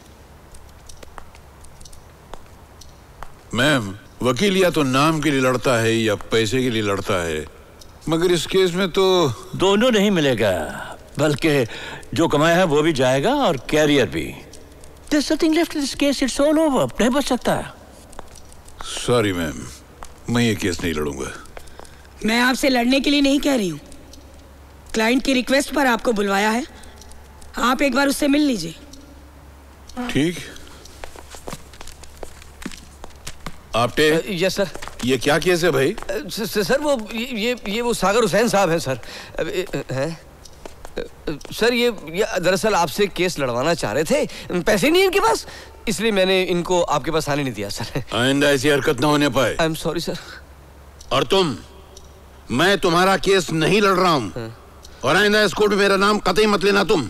सर साहब वो पैसे मैं दे दूँगा। अब चुप करो। ये कौन साहब है? ये ये ये ये ये ये, ये इनके लिए पैसे इकट्ठा करते हैं सर। सर आप आप मेरा केस मत लड़िए लेकिन ये चिट्ठी पढ़ लीजिए। जब मैं तुम्हारा केस ही नहीं लड़ रहा हूँ तो चिट्ठी क्यों पढ़ू? सर इंसानियत के नाते ही पढ़ लीजिए। इंसानियत के नाते? इंसानियत का नाम तुम ले रहे हो तुम्हारी जबान से अच्छा नहीं लगता है। उसकी तोहीन होती है इंसानियत के नाते। आपने संभालो उसको चल रहे लेके जाओ इसे। अरे, ये क्या बदतमीजी है? सर। सर पढ़िएगा ज़रूर।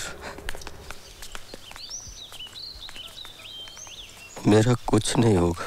अरे वो देखो नादिर साहब अब मेरा कुछ नहीं होगा। सागर जब कुछ नहीं होता तो समझ लो कि बहुत कुछ होने वाला है। अल्लाह पे भरोसा रखो सागर। सागर हुसैन मुलाकात।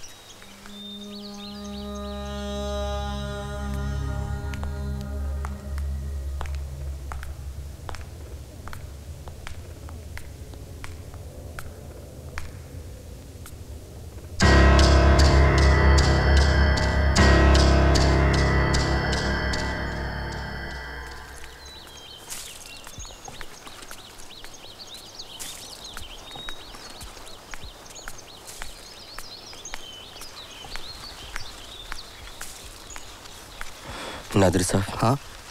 आओ सागर बैठो। बिश्नोई जी हमारा केस लड़ने के लिए तैयार हो गए हैं। उन्हें चाहे पैसे मिले या ना मिले ये सब आपकी मेहरबानी है। बैठो। देखो मैंने कुछ नहीं किया ये सब अल्लाह ताला का करम है। अच्छा एक बात बताओ। ये सब बातें तुमने पहले क्यों नहीं बताई? पहले ज़रूरत नहीं थी और अब अब ज़रूरत आ पड़ी है। इमदाद मुझसे मिलने आया था और उसने मुझे बताया कि मेरी बेटी बानो ने खुदकुशी कर ली। सुन लो सालो इस पेड़ से कूद कर जान दे दूँगा आत्महत्या कर लूँगा मैं। पागल मत बन चंदो नीचे उतर उतर नीचे अबे चुप। सालो तीन साल से मुझे इस जेल में सड़ा रहे हो और कहते हो पागल मत बन। क्या? गुना क्या है मेरा है? सिर्फ़ इतना कि मैंने अपनी माँ की खातिर अपने बाप को दूसरी शादी करने से रोका। साले कहते हैं जेल सुधार गिरे है। मुझे क्रिमिनल्स के बीच में रखकर बिगाड़ डाला तुम लोगों ने। अरे नीचे उतर। जेलर साहब से हम कहेंगे। और वो तुम्हें छोड़ देंगे समझे? चूतिया समझते हो मुझे हैं? तुम्हारे कहने से जेलर साहब छोड़ेंगे मुझे? जेलर साहब से कह के पहले मेरी तारीख लगवाओ। मेरी तारीख लगाने के लिए जब वो रेडी होंगे तब मैं नीचे उतरूँगा। अरे नीचे उतर वरना खटला लग जाएगा। और छह महीने की सजा पड़ेगी समझे? लगने दे। मेरे गुनाह की सजा कितनी होगी? ज़्यादा से ज़्यादा छह महीने? खटला लगा तो छह महीने और? टोटल एक साल? लेकिन मैं तो यहाँ तीन साल से सड़ रहा हूँ। अरे कुछ भी कर लो। नहीं उतरूँगा मैं। पहले मेरी तारीख लगवाओ तब मैं उतरूँगा हाँ। कैसे नहीं उतरेगा? ए, जा तू की तरफ़ फैले बैन देखा डॉक्टर साहब एक ये है जिसकी तारीख नहीं पड़ रही है। और दूसरा वो है जिसका एक महीने में डिसीज़न आने वाला है। लास्ट विटनेस है ना उसकी बीवी? मिसेस सबीना सागर हुसैन मैडम मुझे वकील साहब के पुकारने पर एतराज़ है। मैं इस आदमी से कोई ताल्लुक नहीं रखना चाहती। यहाँ तक कि उसका नाम भी मेरे नाम के साथ मुझे गवारा नहीं। मुझे मेरे नाम सबीना बेगम से पुकारा जाए। लेकिन आपके कहने से हकीकत तो नहीं बदल सकती। ठीक है अगर आप ऐसा चाहती हैं तो आपकी ख्वाहिश का एहतराम करते हुए आपको आप ही के नाम से पुकारूँगा। माल तो बहुत अच्छा है। हमें पूछने के टैक्सी है टैक्सी वो भी ऐसी हाँ, समझा? हाँ तो सबीना बेगम आपने पुलिस को दिए हुए अपने बयान में मुलजिम के खिलाफ अपनी तीन बेटियों को रेप करने का इल्ज़ाम लगाया है। क्या यह सच है? बदकिस्मती से यह बात सच है। अदालत को आप बताएँगी कि इस सिलसिले में आप क्या जानती हैं? ज़रूर बताऊँगी वकील साहब। मर्द औरत का मान सम्मान सब कुछ होता है। ये मर्द ही है। जो एक औरत को सोसाइटी में, समाज में इज़्ज़त दिलाता है, औरत धरती है तो मर्द उसका आकाश। मर्द के आगोश में आते ही औरत दुनिया भर की मुसीबतें भूल जाती है। एक औरत को अपने पति के खिलाफ बोलने में कितनी दिली तकलीफ़ होती है। ये तो बस वही औरत जानती है, जिस पे बीती हो। ये मुल्जिम के कटघरे में बैठा शख्स कभी मेरा पति था मगर आज ही इंसान नहीं, हैवान है। इसने मेरी ज़िंदगी तो बर्बाद की ही। मेरे बच्चों की भी ज़िंदगी बर्बाद कर दी। एक पति और बाप अपनी पत्नी और बच्चों के लिए छत्र छाया होता है। जब वो घर में होता है तो एक सुकून, एक हिफाजत का एहसास होता है। मगर इसके घर में आते ही ऐसा लगता था जैसे घर में कोई आतंकवादी घुसाया हो। सारा घर बेचैन और व्याकुल हो जाता था। मेरी बच्चियाँ मेरी बच्चियाँ सहम जाती। घर के कोने कोदड़ों में छिपती फिरती थी। मैडम, इस जलील ने हमें कहीं मुँह दिखाने के काबिल ही नहीं छोड़ा। अपने ही नज़रों में गिर गए हैं हम। अगर बाप ऐसा होता है तो खुदा करे, दुनिया में कोई भी बाप ज़िंदा ना रहे, क्योंकि ऐसे नीच और कमीने बाप के होने से तो ना होना अच्छा है उस्ताद सही कहती है बेचारी। चुप। भीगी बिल्ली पे मत जा। आगे आगे देख क्या होता है। योर विटनेस प्लीज़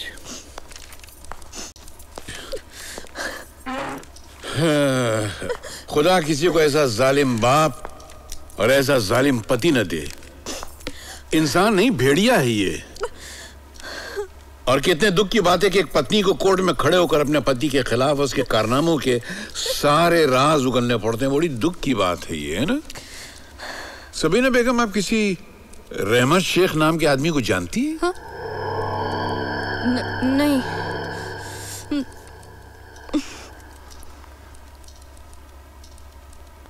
अच्छा। और लखनऊ में रहने वाले वाजिद अली को जानती है? न- नहीं। नहीं। कोई बात नहीं। अच्छा एक बड़ा आसान सा सवाल करता हूँ मैं। सागर हुसैन से शादी करने से पहले भी आप शादीशुदा थी? मैं कुछ समझे नहीं। इसमें न समझ में आने वाली क्या बात है? सागर हुसैन से शादी करने से पहले आप शादीशुदा थी या नहीं? दैट्स ऑल योर ऑनर मेरे मौक्किल सागर हुसैन से शादी करते वक्त सबीना बेगम शादीशुदा थी। जी, इनके पहले शौहर का नाम है रहमत शेख और इत्तेफाक से वो हज़रत इस वक्त कोर्ट में मौजूद हैं। रखिए। और ये रहा इन दोनों का निकाहनामा इन दोनों की एक पहले से बेटी भी थी, साहिला। और ये रहा साहिला का बर्थ सर्टिफिकेट जरा जज साहिबा को दिखा दीजिएगा। नवाजिश होगी।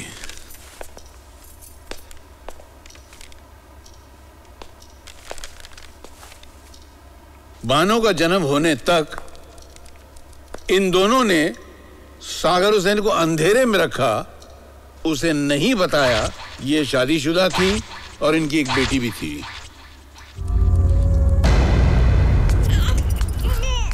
सभी ना इसको बाहर घूमने की आदत लग गई है। इसको मैं बाहर घुमा के लाता हूँ। जी। हाँ? जी। चलो चलो बेटा बाहर चलते हैं तुम्हें घुमा के लाते हैं। लो ये दूध रख दो। आ, आ, हाँ, चलो।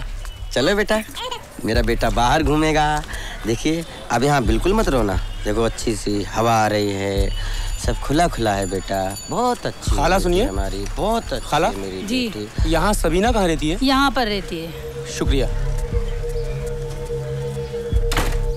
कौन? अच्छा तो यहाँ अयाशी हो रही है। किसी की पाबंद हो या धंधा कर रही हो? तमीज से बात कर। मुझे तमीज सिखाती है। साली कपड़ों की तरह मर्द बदलने वाली औरत तुझसे तमीज से बात करना तो तमीज की तौहीन है। चल निकल यहाँ से। अरे मुझे खुद को घिन आ रही है तेरे सामने खड़ा होकर। ये बच्ची जिसे तू निकालकर मेरी छाती पर डालकर भागाई है ना, इसे मैं तुझे सौंपने आया हूँ। क्यों? ये तेरी नहीं है। इसे क्या मैंने अपने अकेले के खून से जना है? अरे, मेरे पेट पे अपना पेट रखकर रात रात भर रगड़ा है तूने। तब जाके पैदा हुई है ये। मेरा मर्द बनने में तो तुझे बड़ा मज़ा आता था। बच्ची का बाप बना पड़ा तो हवा निकल गई। चल दफ़ा हो यहाँ से। वरना शोर मचा दूँगी। और लोग तेरा सर फोड़ देंगे। और सुन, अब मैं तुम्हारी बीवी नहीं हूँ। मैं धंधा करूँ या किसी की रखेल बनूं तो मेरी कब्र पे छाती मत पीटना। अब दफ़ा हो यहाँ से। मैं कहती हूँ, निकल जा भड़वे कहीं के। जा यहाँ से। और दोबारा पलट कर नहीं आना यहाँ पर। आ जाते मेरी ज़िंदगी नर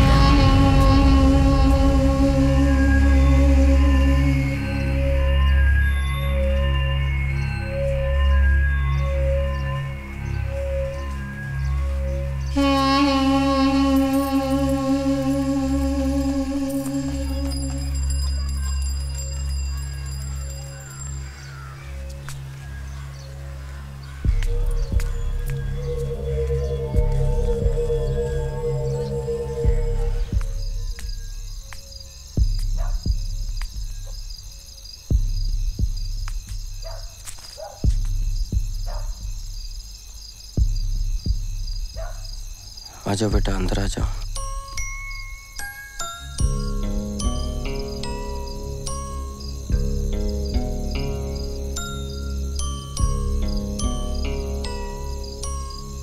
सवीना हम इस बच्ची को पालेंगे। आज से इसके अब्बू और अम्मी हम ही दोनों हैं।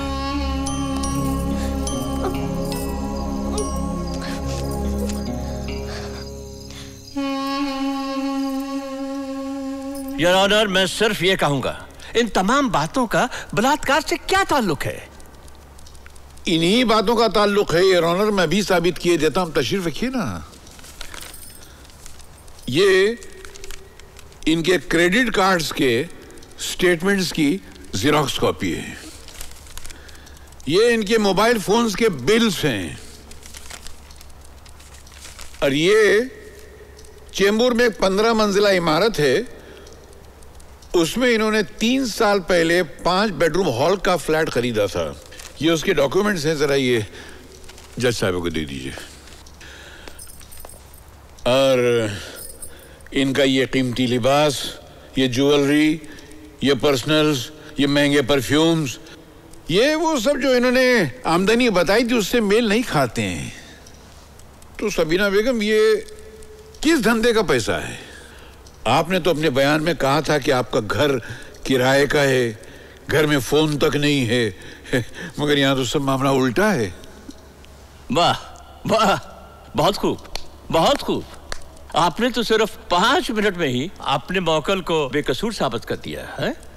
मैं समझा नहीं आप कहना क्या चाह रहे हैं? बिल्कुल आपकी तरह मैं भी नहीं समझ पाया कि आप साबित क्या करना चाहते हैं। मुमकिन है कि आपने सबीना बेगम के बारे में जो कुछ भी कहा वो सच है। लेकिन इन तमाम बातों का इस इस बलात्कार के केस से क्या ताल्लुक है? क्या लेना देना है? यस मिस्टर बिश्नोई इन सब बातों का इस केस से क्या सरोकार? ताल्लुक है योर ऑनर दुनिया में कहीं भी कोई जुर्म होता है तो वहाँ पर न कोई डिफेंस लॉयर मौजूद होता है न पब्लिक प्रोसिक्यूटर मौजूद होता है न कोई जज मौजूद होता है। हम वकील लोग अपनी जिरा के ज़रिए उस मुलजिम या गवाह का कैरेक्टर स्टैब्लिश करते हैं। मैं भी आज इस औरत का कैरेक्टर आपके सामने लाना चाहता हूँ। इस औरत ने अपने पहली शादी की बात अपने दूसरे शौहर को नहीं बताई। मैंने इसे तीन सवाल पूछे। इसने दो के जवाब झूठ दिए। इसका मतलब ये औरत दो तिहाई झूठी है। योर ऑनर जब कोई मर्द बिगड़ता है तो समाज का सिर्फ़ एक फर्द बिगड़ता है। लेकिन जब कोई औरत बिगड़ती है तो पूरा समाज बिगड़ जाता है। क्योंकि औरतों को भगवान ने नस्लों का अमानतदार बनाया है। जब औरत बिगड़ती है तो नस्लें बिगड़ जाती हैं। और ये ये भी एक बिगड़ी हुई औरत है। इसने अपने पहले शौहर से तलाक लिए बगैर दूसरी शादी की, जिसकी इजाज़त न दुनिया का कानून देता है, न मज़हब देता है, न समाज देता है। सागर हुसैन ने अपनी बेटियों के साथ बलात्कार किया या नहीं किया वो मैं नहीं जानता। लेकिन इतना जानता हूँ कि ये औरत पिछले 20 साल से लगातार सागर हुसैन के साथ बलात्कार कर रही है।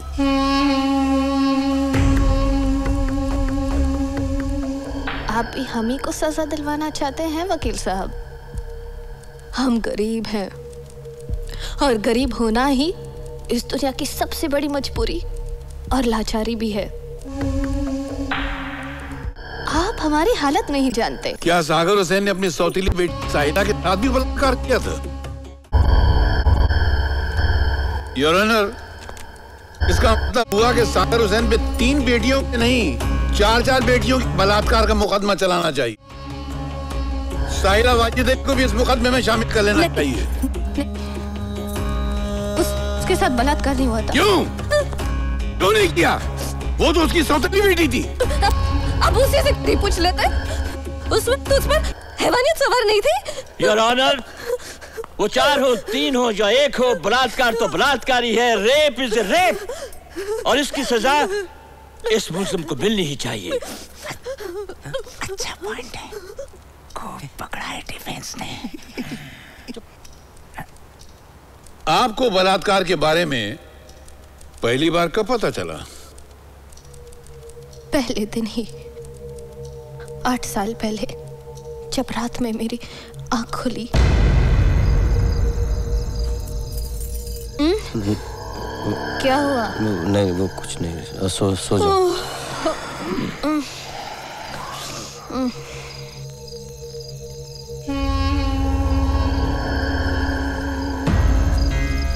अनु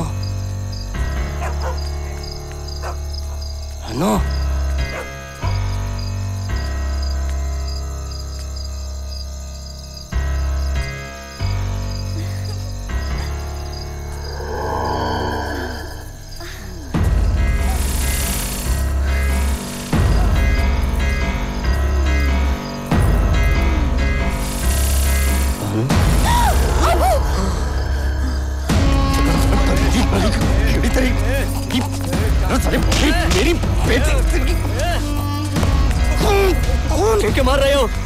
क्या किया है? वो मेरे पास मुफ़्त में नहीं आती है। पैसे लेती है रोकड़ा लेती है। और जितने पैसे मैं उसको देता हूँ उतने पैसे में कहीं भी जाकर सो सकता हूँ।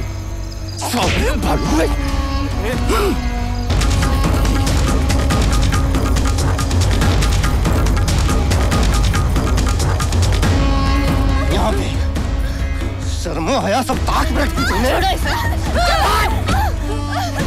हुआ क्या है? इससे पूछे रिक्शा वाले के साथ क्या कर रही थी? क्या कर रही थी? निर्लज क्या कर रही थी? रिक्शा वाले से प्यार करती है बानो। यही यही गाड़ी वाले ये रिक्शा वाले या तुम जैसे जरी वाले के घर ही जाएगी ये। अरे बानो के लिए मैंने खुद मैंने खुद वो रिक्शा वाले को चुना है। खुद का रिक्शा है खोली है। ज़ुबान हो गई है ये। तुम तो ना इनको खाना दे पाए ना इनका बदन ढक सके। भिखारियों को गैरतमंद का ढोंग नहीं करना चाहिए। हँसते हैं लोग मज़ाक उड़ाते हैं। चल बानो। बानो के साथ सागर हुसैन ने नहीं रिक्शा ड्राइवर जाफ़र ने मुँह काला किया था। ये मुआ मर्दू तो मेरी बच्ची को कब्र में भी सोने नहीं देगा। अरे अब तो मर चुकी है। बख्श दो उसे, बख्श दो। मेरी मरी हुई बच्ची पर क्या क्या इल्ज़ाम लगा रहे हैं? क्या क्या इल्ज़ाम अरे ये ज़मीन क्यों नहीं फटती? ये आसमान क्यों नहीं गिर पड़ता? या अल्लाह! तू उसे उठा क्यों नहीं लेता ताकि पाप कटे।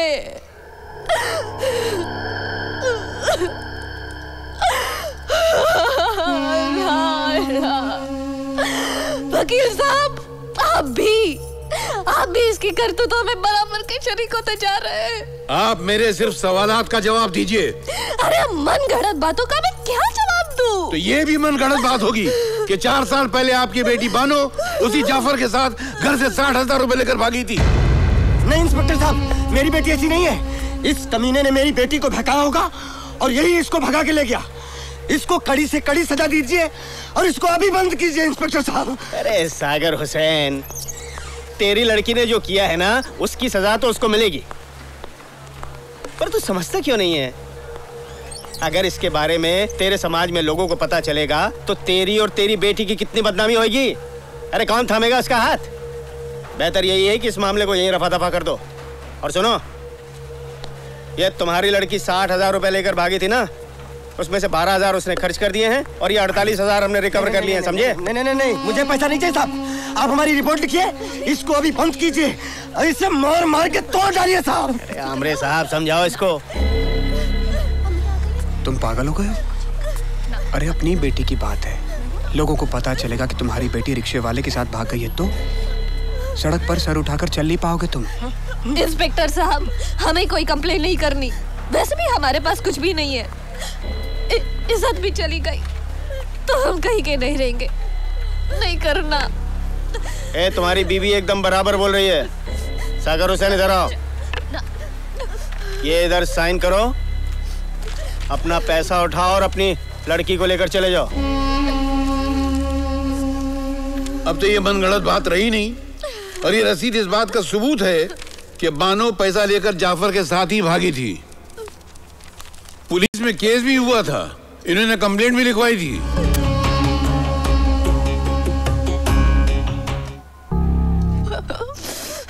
अब तो बानो मर चुकी है। मैं उसकी मिट्टी खराब नहीं करना चाहती। अरे वो जहाँ है, अच्छी जगह है। हम भोग रहे हैं। मैं उसे रुसवा नहीं करना चाहती। अरे आप खुद क्यों नहीं समझते? कि वो घर से क्यों भागी होगी? यही बात तो हमारी समझ में नहीं आ रही है कि वो घर से भागी क्यों थी? इसी हरामी बाप की वजह से। इसने ही बानो को ये इंतहाई कदम उठाने पर मजबूर किया था। शादी नहीं करवाता था क्योंकि खुद के इस्तेमाल में ला रहा था। अरे वो बेचारी भागती नहीं तो क्या करती? एक बात बताइए सबीना बेगम जब आपने पुलिस में कंप्लेंट लिखवाई थी तो ये भी लिखवा दिया था कि यह हरामी बाप के गंदे करतूतों से तंग आकर बानो घर से भाग गई थी? मिस्टर बिश्नोई सबीना बेगम एक सीधी सादी हाउसवाइफ है। आपकी तरह वकील नहीं है जो कानून की बारीकियों को समझ सके। हाँ माना कि उस वक्त इन्होंने अपने बयान में सागर हुसैन के बलात्कार का ज़िक्र ना करके बहुत भारी गलती की है। बट यू अंडरस्टैंड कि आज भी ये वही जुर्म है। जो होता ज़्यादा है, लेकिन उसकी रिपोर्टिंग बहुत कम की जाती है। कभी खानदान की इज़्ज़त बचाने की वजह से, कभी डर की वजह से। लेकिन इसका यह मतलब नहीं कि in this particular case the rape has not taken place the rape has taken place और जुर्म की संगीनी अपनी जगह मौजूद है। इसलिए मेरी आपसे इल्तजा है, मिस्टर बिश्नोई कि आप टू द पॉइंट जरा कीजिए ना। सबीना जी, आपकी लड़कियाँ बार में डांस करती हैं? ये मधुबाला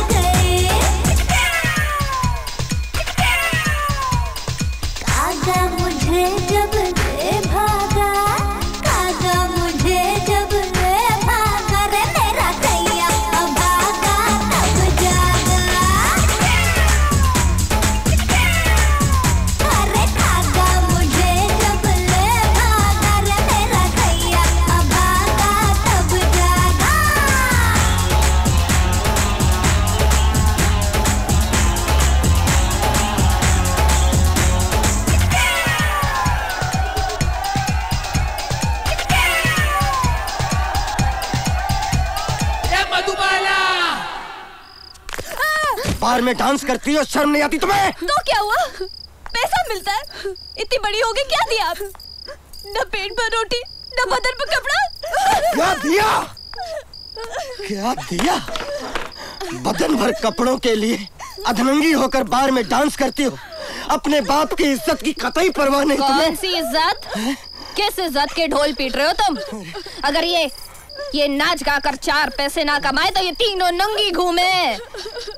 पहले इज़्ज़त से जीने का जुगाड़ करो, फिर इज़्ज़त से रहने की नसीहत दो।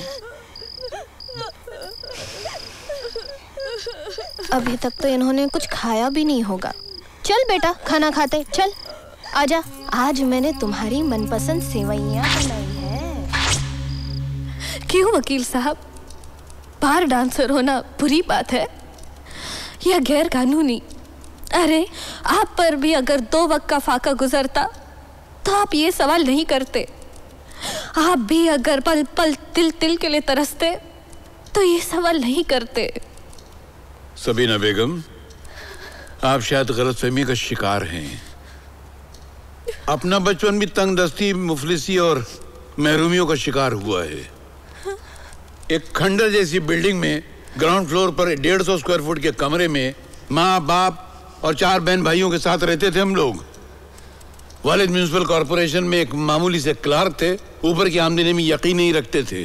इतनी उनको तनख्वाह मिलती थी जिसमें घर चलाना ऐसे था जैसे छोटे से रुमाल से पूरा तन ढांकने की नाकाम कोशिश करना।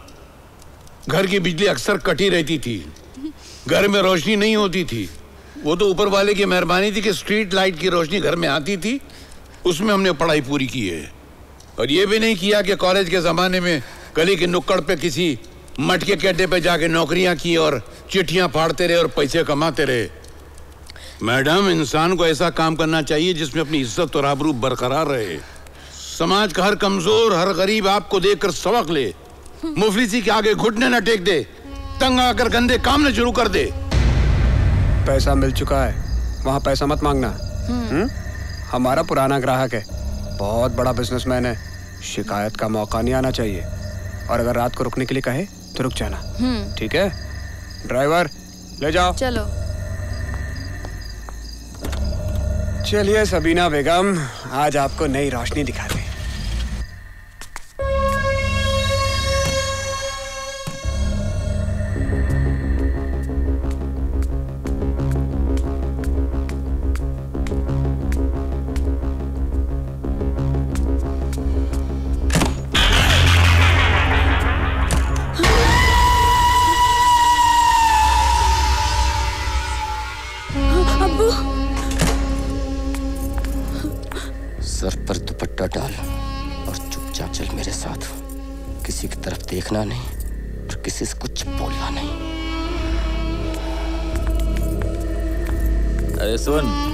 हो गया हो तो मेरे पास छोड़ के जा मेरा काम भी हो जाएगा।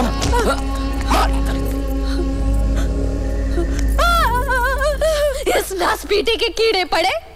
वो धरती का बोझ दीदे भाड़े देख रहा है।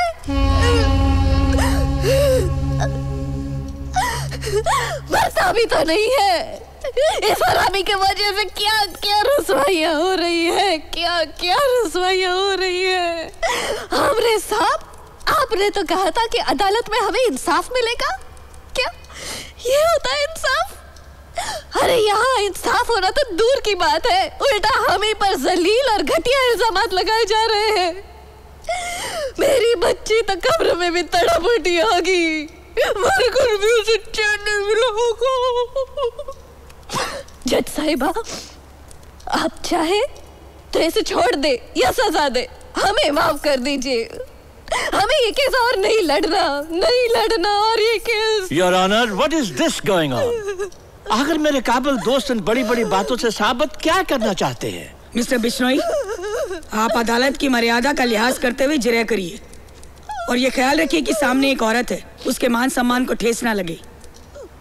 और आप भी इनके सवालों का ठीक ठीक जवाब दीजिए। योर ऑनर मेरे क्लाइंट सागर हुसैन पे ये इल्ज़ाम भी है कि उसके बलात्कार की वजह से लड़कियाँ एक बार नहीं, कई बार प्रेग्नेंट हुई और उनका गर्भ भी गिराया गया।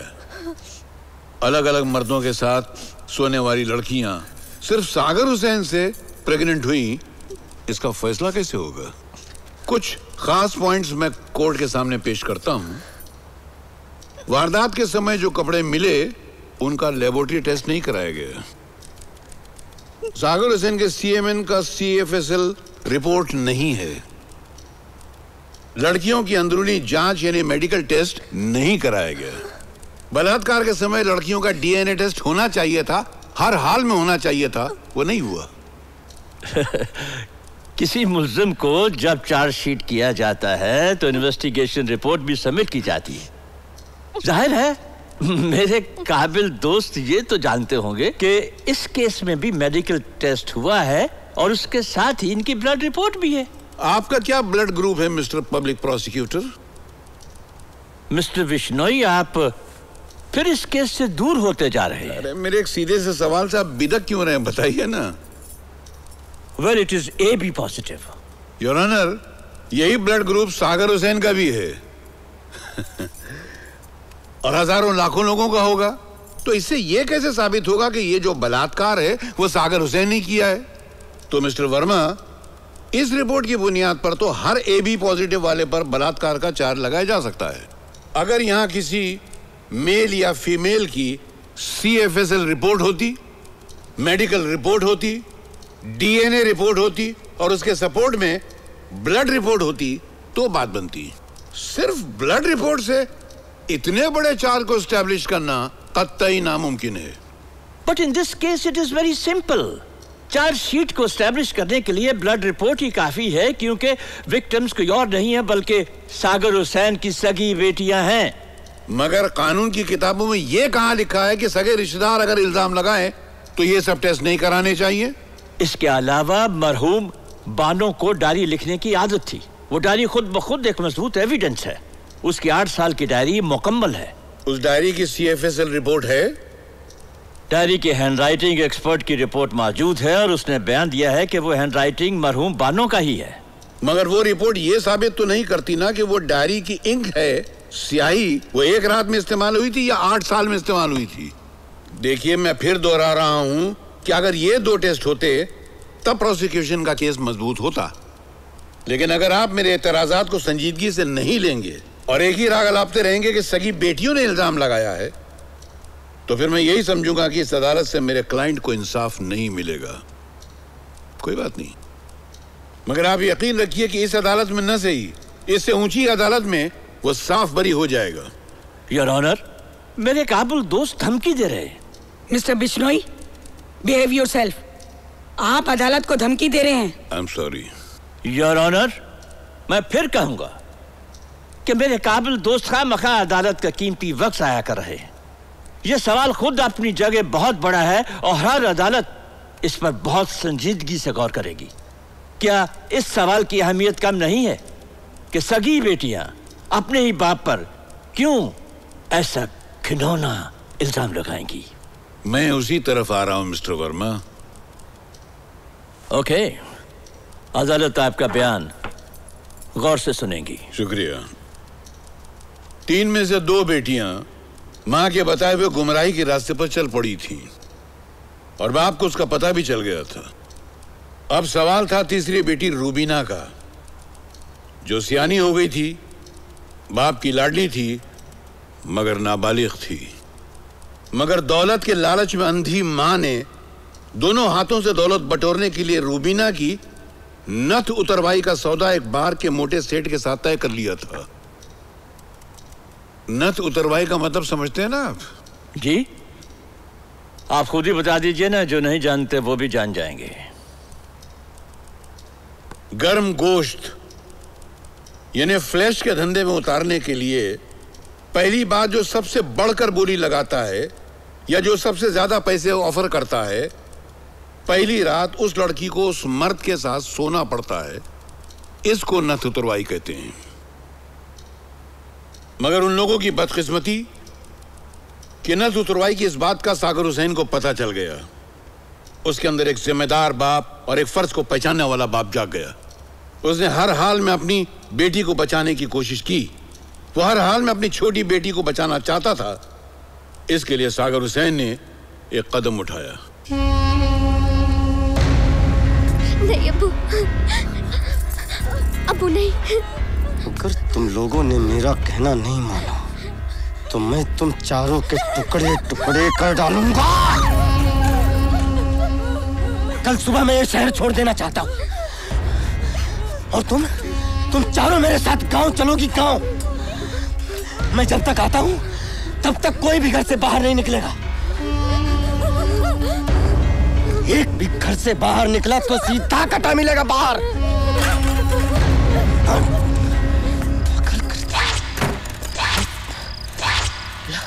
इमदाद किसी भी तरीके से मैं अपने बीवी बच्चों को लेकर कल सुबह लखनऊ जाना चाहता हूँ। तो मुझे पुष्पक या कुशीनगर एक्सप्रेस के पाँच टिकट लाकर दे दो मेरे भाई।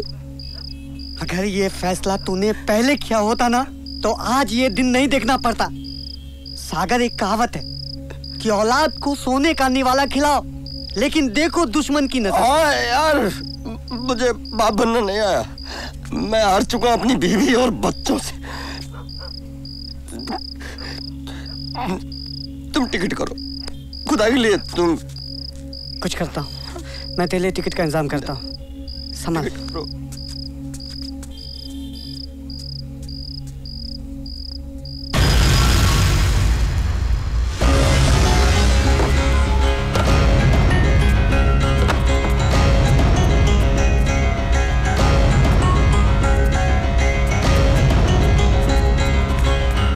बार पर्सनल पार्टी में सिर्फ़ ग्यारह आइटम ओके ओके भेज दूँगा। मेरे बीवी बच्चे कहाँ हैं? बता दो वरना मैं तुम्हें जान से मार दूँगा। क्या बात है बड़े गुस्से में हो? बीवी बच्चों से मिलना चाहते हो ना? आओ। आओ आओ ले चलता हूँ आओ। चलो चलो। आओ।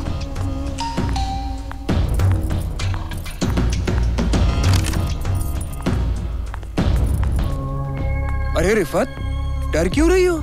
अरे भाई, तुम्हारे अब्बू तुमसे मिलने आए हैं। आओ, सागर, आओ। अरे सबीना, देखो देखो कौन आया है। सागर, आओ ना। आ जाओ, आओ आओ आओ। देखो।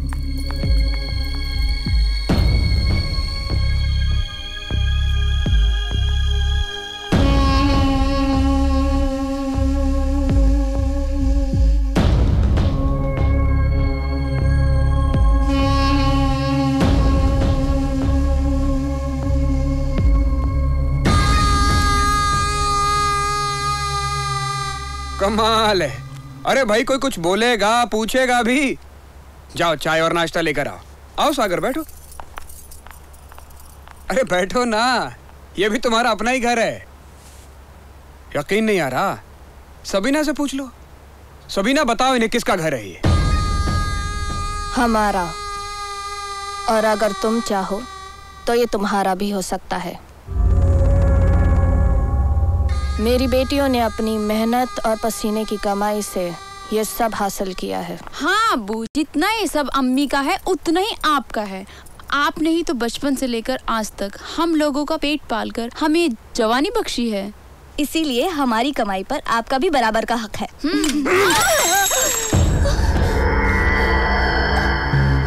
तुम्हारे धंधे में हक सिर्फ़ दलालों और बड़ुओं का और मैं बड़ुआ नहीं हूँ मैं बाप हूँ। ये नहीं मानेगा। सागर हुसैन तुम जैसे लोग बंद आँखों से सपना तो देखते हैं पर जब वो सपना हकीकत बन जाता है तब तुम उस हकीकत को भी सपना समझकर अपनी आँखें बंद कर लेते हो आँखें तो तूने बंद कर दी इनकी। अभी भी कहता हूँ सुधर जाओ। हकीकत को समझो हकीकत को। अब्बू आज के जमाने में हकीकत सिर्फ़ पैसा है और उसे हासिल करने के लिए अगर कुछ पल के लिए अपने आप को बिछाना पड़े तो कौन सी बड़ी बात है? और इज़्ज़त? पेशाब करने की जगह को इज़्ज़त समझते हैं आप? गलत सोचते हैं आप। आलीशान बिल्डिंगों में आलीशान फ्लैट ये इज़्ज़त है। उन फ्लैट्स में टीवी फ्रिज एसी ये इज़्ज़त है। क्रेडिट कार्ड मोबाइल डिज़ाइनर जूते ज्वेलरीज ये इज़्ज़त है। जो आप हमें कभी नहीं दे सकते। ये रातों रात अमीर बनने के चक्कर में तुम अपना आपा और इज़्ज़त कहीं दूर छोड़ा है। हो अरे सब तेरी वजह से हुआ बाहर फेंको इसे और कल सुबह तक ये शहर छोड़ देना। परिवार को बर्बाद कर दिया वरना क्या। करेगी? अरे साली तू क्या करेगी? क्या इधर सारी तरह बोटी बोटी काट के तुझे कुत्तों को ना खिलाऊं। ए, सागर रोशन तेरे नाम है ना? साला अपनी बेटियों पे रेप करता है। चले गए गए चल। चल चल चल। चल चल। फिर वही हुआ जो होना चाहिए था। सागर हुसैन नहीं एक बाप चुप हो गया। उसने अपने आप को तकदीर के हवाले कर दिया। क्योंकि सारे समाज की नफरत भरी निगाहें उसकी तरफ़ थीं। मगर समाज की हमदर्दियाँ उसकी बेटियों की तरफ़ थीं। और वो उन्हें समाजी तौर पर बेसहारा नहीं करना चाहता था। मगर अचानक एक अनहोनी हो गई। बानो की मौत हो गई। एक दूरअंदेश बाप बेचैन हो गया। उसने सोचा कि अगर मैं अब भी खामोश रहा तो मुजरिमों के हौसले और बुलंद हो जाएँगे। और कहीं ऐसा ना हो कि मेरी बाकी दो बेटियों का अंजाम भी बानो जैसे ही हो जाए। रही बात बानो की मौत की तो योर ऑनर, बानो एक बहुत ही अहम विटनेस थी। ऐसा अंदाज़ा है कि वो बाप के साथ हुई नाइंसाफियों पर शर्मिंदा थी और आहिस्ता आहिस्ता बाप की तरफ़ झुकने लगी थी। इस केस के किसी भी स्टेज पर आकर वो कुछ उगल न दे उसको रास्ते से हटा दिया गया। यह बात मैं साबित कर सकता हूँ मगर इसके लिए मुझे गवाह पेश करने की इजाज़त चाहिए। Yes mister PP Verma no objection your honour witness कौन है? इमदाद अली। Permission granted. लेकिन मैं उससे पहले एक दरख्वास्त करना चाहूँगा अदालत से कि मिस्टर आमरे सबीना बेगम और उनकी दोनों बेटियों को टिल हियरिंग पुलिस कस्टडी में रखा जाए। क्यों? क्योंकि अब मैं ये प्रूव करने जा रहा हूँ कि वो खुदकुशी नहीं थी। मर्डर था। Plan murder.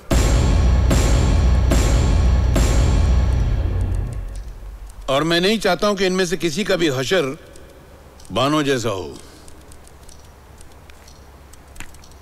ये अदालत प्रोसिक्यूशन को हुक्म देती है कि मिस्टर आमरे शबीना बेगम और उनकी दोनों बेटियों को पुलिस निगरानी में रखा जाए।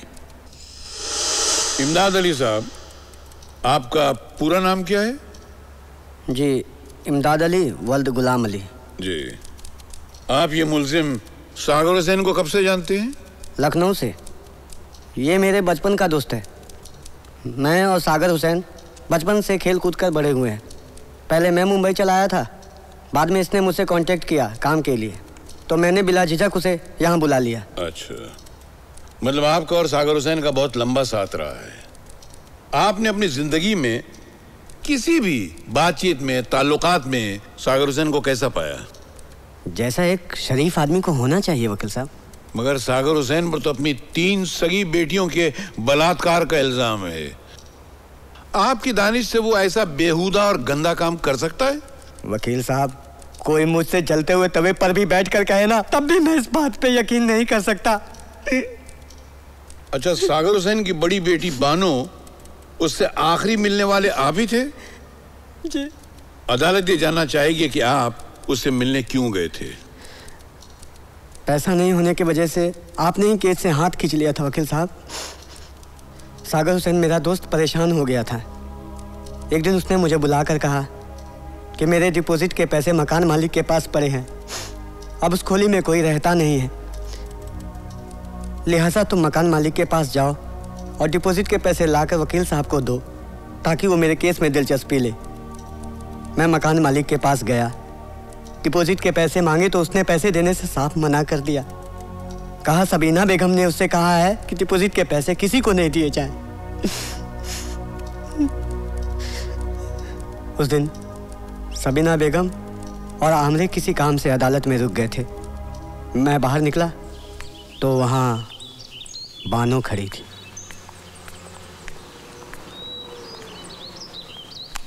बानो? देखो अपनी खुशी के लिए किसी की ज़िंदगी बर्बाद कर देना कहाँ तक ठीक है बताओ। चाचू पर मैं क्या कर सकती हूँ? देखो बेटी मैं मुमरा वाले मकान मालिक के पास गया था वो डिपॉजिट के पैसे लेने के लिए। खोली खाली पड़ी है। तुम लोग रहने के लिए बड़े मकान में चले गए हो। अगर डिपॉजिट के पैसे मिल जाते तो मैं वकील की फ़ीस दे पाता। तो ले लो। वो नहीं देगा। वो कहता है जब तक तुम या तुम्हारी अम्मी नहीं कहेंगी तब तक वो पैसे नहीं देगा। ठीक है चाचू आप कल आ जाइए मैं दिलवा देती हूँ। अरे चाचा आप अस्सलाम वालेकुम। आइए ना। वालेकुम सलाम। आइए आइए। बैठिए। बैठिए ना। एक मिनट हाँ। बस एक मिनट ये ख़त्म कर लो। ये लेटेस्ट मोबाइल है। इसमें बहुत सारे फ़ंक्शंस है। यू नो इसमें कैमरा भी है। आपका फ़ोटो खींचो। एक मिनट। देखिए ना। आ, ये ये देख खींच गया ना? अच्छा है। एक आपका और मेरा हाँ। एक मिनट मैं यहाँ रख देती हूँ। अब आपकी और मेरी मूवी बनेगी। हाँ हाँ। और लो मोबाइल के चक्कर में आपको पानी पिलाना ही भूल गई। ये लीजिए पानी पीजिए। लीजिए। बानो हम्म? वो डिपॉजिट के पैसों का क्या हुआ? अरे चाचा मैंने आते ही मकान मालिक को बुलाया था। वो अभी क्या हुआ है? पैसे लेके आता ही होगा। रुक जाइए। क्यों बे भड़वे? क्या करने आया था यहाँ पर? अम्मी हाँ जासूसी करने आया था छिनाल की। क्यों? अपनी चिकनी चुपड़ी बातों में मेरी भोली भाली बेटी को फंसाने आया है। सबीना मैं चुप! अपने दोस्त सागर हुसैन का हश्र देखने के बाद भी तुझे अक्ल नहीं आई। तू तू तो अब मेरी हिट लिस्ट पर है। तुझे तो मैं ऐसी जगह मारूँगी जहाँ तुझे पानी तक नहीं मिलेगा। जरा मेरी भी तो सुन। चाचू खुद यहाँ नहीं आए। मैंने बुलाया था उन्हें। मकान मालिक अभी आता ही होगा। डिपॉजिट के पैसे लेने गया। अच्छा चल इधर। अकेले रूम में बच्ची के साथ क्या कर रहा था हैं? पहले बाप लगा हुआ था और अब चाचा भी बहती गंगा में हाथ साफ़ करने की कोशिश कर रहा है। अगर आज के बाद तेरा थोबड़ा यहाँ देख लिया तो तू यहाँ से अपने पैरों पे चलकर नहीं जाएगा। हमारी भोली भाली बच्ची को इमोशनल ब्लैकमेल करके पैसे मांगने आता है। बाप का माल समझाए क्या? चल निकल यहाँ से। चल। फिर क्या हुआ? फिर मैं वहाँ से चला आया। लेकिन शाम को मुझे पता चला कि बानो ने खुदकुशी कर ली। लेकिन मुझे नहीं लगता वकील साहब, बानो ने खुदकुशी की होगी। मैंने उसमें अपने बाप के लिए जज्बाती तब्दीलियाँ महसूस की थी। उसे अपने बाप से हमदर्दी हो चली थी। शायद आमरे और सबीना ने भी उन तब्दीलियों को महसूस किया होगा। इसलिए उसे इन्होंने रास्ते से हटा दिया।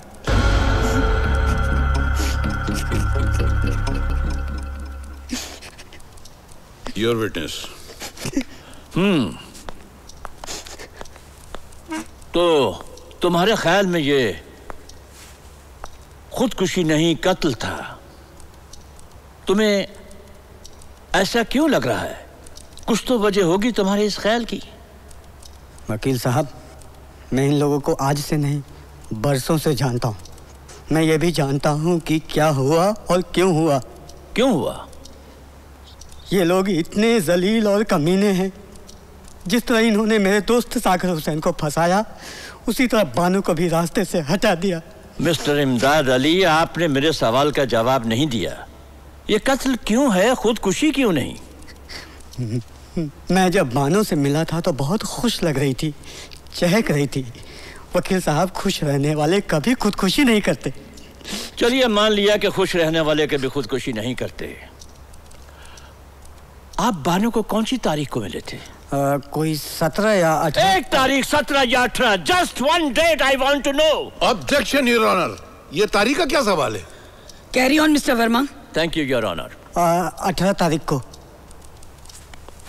योर ऑनर ये शख्स झूठ बोल रहा है। क्योंकि सागर हुसैन के केस की तारीख सत्रह थी और बानो ने अठारह तारीख को खुदकुशी की थी। अच्छा जब तुम बानो के घर गए तो सबसे पहले क्या हुआ? पहले उसने मुझे बिठाया फिर पीने के लिए गिलास पानी दिया। योर ऑनर यहाँ भी ये शख्स झूठ का सहारा ले रहा है। वो गिलास बतौर मुद्दा माल अदालत में मौजूद है और उसमें कोई फिंगरप्रिंट नहीं है। मेरा ख्याल है पीपी को बैठने का प्रिंट मिल गया। तभी तो पेली पे कोई कमेंट नहीं किया। जब भी कोई खुदकुशी पुलिस के नोटिस में लाई जाती है तो उसमें हर किस्म के पहलू के बारे में सोच विचार होता है। ज़ाहिर है कि मर्डर के पहलू में भी सोच विचार होता है। फिर भी अगर अदालत अपना इतमान करना चाहती है तो सारा सामान अदालत में योर ऑनर बानो की खुदकुशी से ताल्लुक रखने वाला जितना भी मटेरियल कोर्ट में मौजूद है मैं उसका इंस्पेक्शन करना चाहता हूँ। पंचनामा मुद्दा माल को कोर्ट में पेश किया जाए।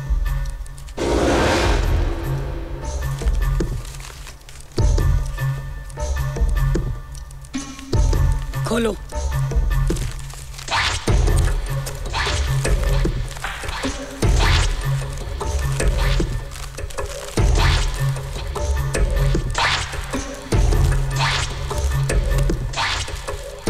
योर ऑनर यह मुद्दा माल अभी अभी खुला है, जिसे ना मैंने देखा है, ना इमदाद अली ने देखा है। ये पानी की बोतल और ये गिलास साबित करते हैं कि मेरा गवाह झूठ नहीं बोल रहा है। लेकिन अब सवाल ये होता है कि इन पर फिंगरप्रिंट्स क्यों नहीं है? जरा ये मोबाइल जज साहिबा को देना तो।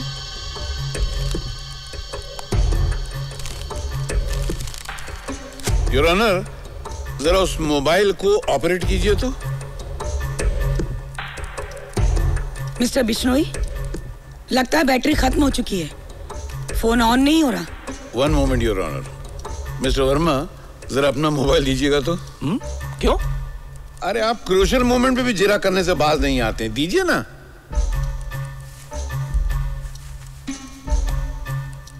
थैंक यू इसकी बैटरी निकाल कर उस मोबाइल में डाल दो।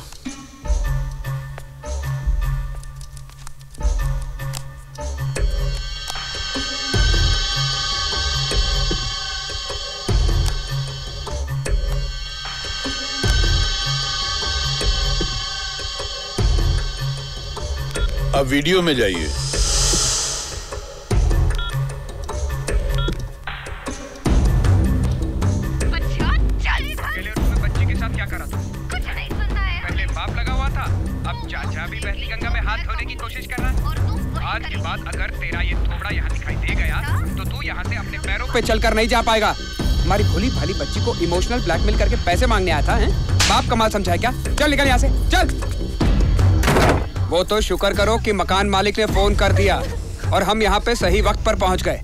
वरना इस कमीनी ने तो इमदाद को पैसा दिलवाकर सागर को बाहर और हमें अंदर करवाने का पूरा बंदोबस्त कर लिया। अच्छा कुतिया जलील आज तू इतनी बड़ी हो गई कि फैसला खुद करने लग गई। अरे भूल गई वो दिन जब पचास पचास रुपए के लिए यारों के पहलू गर्म करती थी। अरे दुआ दे तू आमरे को, जिसने तुझे बार में रखाया और हमारे दिन फिर गए। भूल गई सब? आखिर मैंने ऐसा कौन सा गुनाह कर दिया, अम्मी, जो तू आप से बाहर हो रही है? अरे वो मेरा बाप है।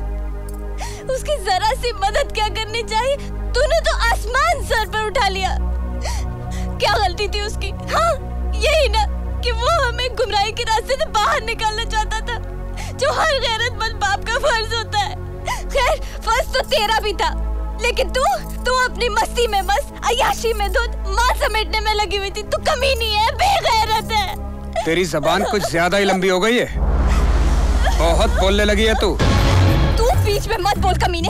ये हमारा फैमिली मैटर है कि सारी ज़िंदगी मेरे बाप को जेल में सड़ाने का इरादा रखा है बड़वे। चुड़ैल आज ये मैटर तेरा फैमिली मैटर हो गया और मैं भड़वा क्या करती है? तीनों बहनों को दागदार कर दिया और पता नहीं कितनी बहनों को दागदार किया। और तू तो समाज का है। क्या करती है? पागल हो गई है? आप पागल हो गई हो मैं। अभी छोड़ मुझे। हमारे टुकड़ों पे पलने वाला तो साला मेरे पे हाथ उठाता है। कर ना छोटा देखती है ना बड़ा। जो मुँह में आए बके जा रही है। अरे रोटियाँ चढ़ गई है तुझ पे। खुशियाँ हजम नहीं होती। चर्बी चढ़ गई है तुझे चर्बी। चल। चल हमरे से माफ़ी मांग। चर्बी तो तेरी आँखों पे चढ़ गई है अम्मी। जो तुझे इस आदमी के सिवा कोई दिखता ही नहीं। माफ़ी मांगू और इस कुत्ते से तू कभी नहीं हर किस नहीं आज मैं कोई फैसला करके ही रहूँगी। क्या फैसला करेगी?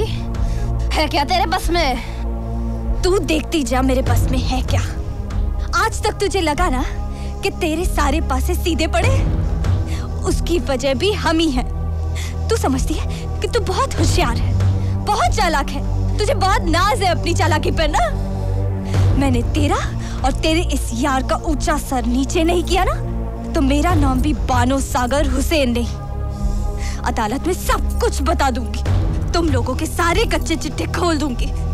बोलूँगी कि बलात्कार मेरे बाप ने नहीं, इसने किया है। और तू उसमें शरीक के जुर्म है। एक एक बात बताऊँगी। मुझे तुमसे और तुम्हारे इस माहौल से नफरत हो गई जा रही हूँ मैं।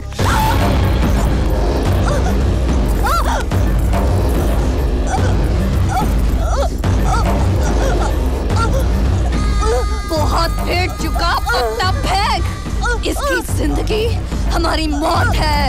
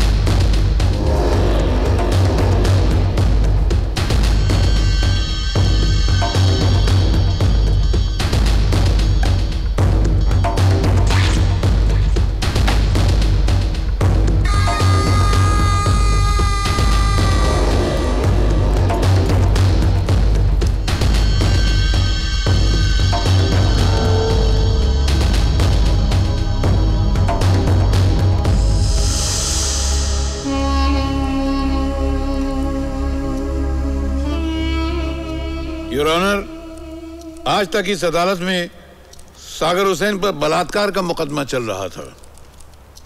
मगर हकीकत तो यह है कि हमने, बल्कि पूरे सिस्टम ने सागर हुसैन के साथ बलात्कार किया है। पल पल उसके साथ बलात्कार किया है। उसको कितनी जहनी और दिली तकलीफ़ हुई है, उसका रत्ती भर किसी को एहसास नहीं है। कभी हमने सोचा कि यह समाज कहाँ जा रहा है? एक अंधी गहरी खाई में गिरने जा रहा है। चारों तरफ़ पैसे की होड़ लगी हुई है। जायज़ और नाजायज की कोई तमीज ही बाकी नहीं रही। बस पैसा आना चाहिए। कहीं से भी आए किसी भी शक्ल में आए मगर पैसा आए। हमने अपनी ज़िंदगी की वैल्यूज़ और मोरल्स को भुला दिया है। That's all your honour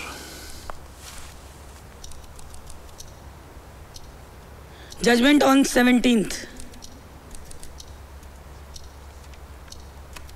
इस वीडियो क्लिपिंग ने इंसानी चेहरों पर पड़े रिश्तों के नकाब को बेपर्दा करके इन जालिमों के असली नीच और जलील चेहरे दिखाए हैं। उसे देखकर अदालत दंग रह गई है। इस केस पर लेडी जज इसलिए अपॉइंट की गई थी ताकि औरतों के साथ नाइंसाफी ना हो। उनकी छोटी से छोटी बात तवज्जो से सुनी जाए। लेकिन यह बात सच साबित हुई कि औरत ही औरत की दुश्मन है। एक औरत ने इंसानियत के मुँह पर कालिक पोतकर अपने आदर्श से गिरकर अपने पति पर इंसानियत सोच और हया सोच इल्ज़ाम लगाया। वो भी सिर्फ़ अपनी अयाशियों और मुट्ठी भर पैसों के लिए। और जब बेटी में इंसानियत जागी तो उसे भी रास्ते से हटा दिया। ऐसी औरत माँ नहीं, डायन है। माँ के नाम पर कलंक है। अदालत डिफेंस के ज़रिए उठाए गए सवाल से सहमत है। और हुकूमत और दानिश्वरों से यह अपील करती है कि सामाजिक गिरावट की वजाहत का पता लगाकर उसे रोकने का कोई उपाय किया जाए।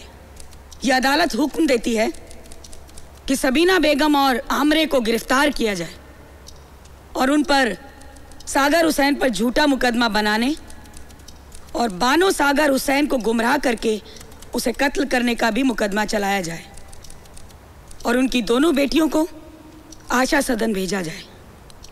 और अदालत साथ ही साथ ये भी हुक्म देती है कि इस केस के आईओ के रोल की भी तहकीकात करके कार्रवाई की जाए और इस कार्रवाई से अदालत को भी वाकिफ कराया जाए, क्योंकि बिना पुलिस की मिली भगत के इतना बड़ा कांड नहीं हो सकता। और जहाँ तक मिस्टर सागर हुसैन का ताल्लुक है अदालत मिस्टर सागर हुसैन को बेकसूर मानती है और बाइज्जत बरी करती है।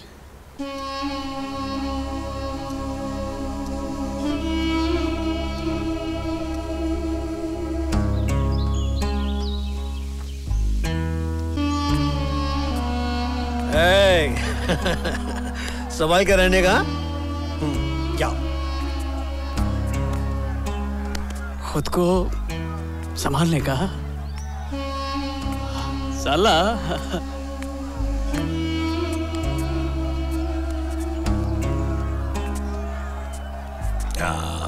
वायरस की तरह फैला है। आ, अभी नहीं बोलेगा।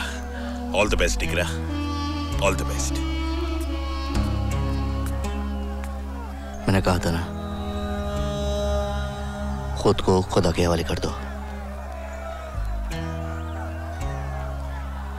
वो अपने नेक बंदों पर दाग नहीं लगने देता। आप यहाँ इसलिए नहीं आए थे कि आपने कोई गुनाह किया है। अल्लाह ने आपको इसलिए भेजा है कि आप मुझे छुड़ाएँ। सागर भाई सात मर्डर किया। कोई अफसोस नहीं अपन को लेकिन तुम्हारा मर्डर करने का सोचा ज़िंदगी भर अफसोस रहेगा। क्या करे? क्रिमिनल है ना क्रिमिनल की तरह सोचता है। हर सामने वाला आदमी क्रिमिनल दिखता है। सिर्फ़ ये नादिर साहब सच्चे थे, जिन्होंने तुम्हें पहचाना। आ गले तो लग जाए यार।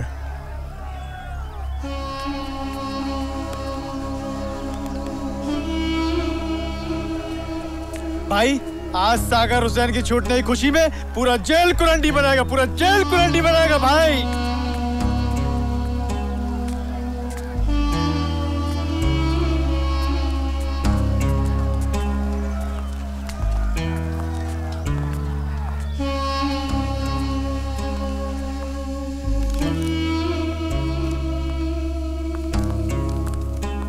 इसे रख लो।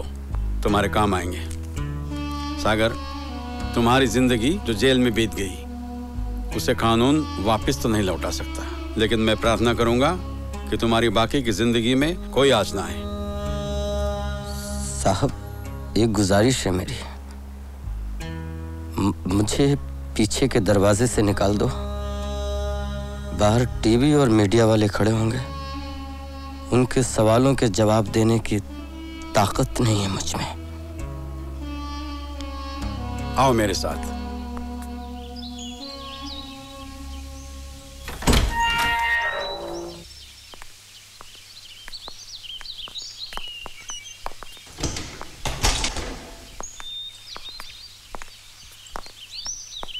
देखा सागर हुसैन? कौन है यहाँ पर? लोग रोटियाँ वहीं सेकते हैं, जहाँ आग जल रही होती है। टीवी और अखबार वाले उन्हीं के पीछे भागते हैं। तुम बेकसूर साबित हो चुके हो। तुम्हारी बेगुनाही से उन्हें कोई मतलब नहीं है। लोग बदनाम करने के लिए जमा होते हैं। बदनामी का दाग धुल जाने के बाद किसी को इंटरेस्ट नहीं रहता, न मीडिया को, न लोगों को। अब बताओ, कहाँ जाओगे?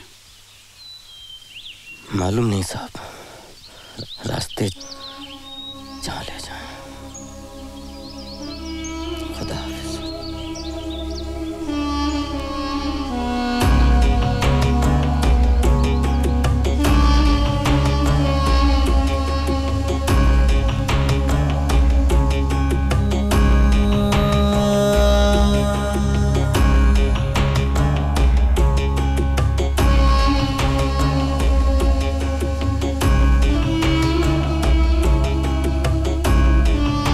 सागर हुसैन आज भी कहीं ना कहीं आपके दरमियान मौजूद होगा।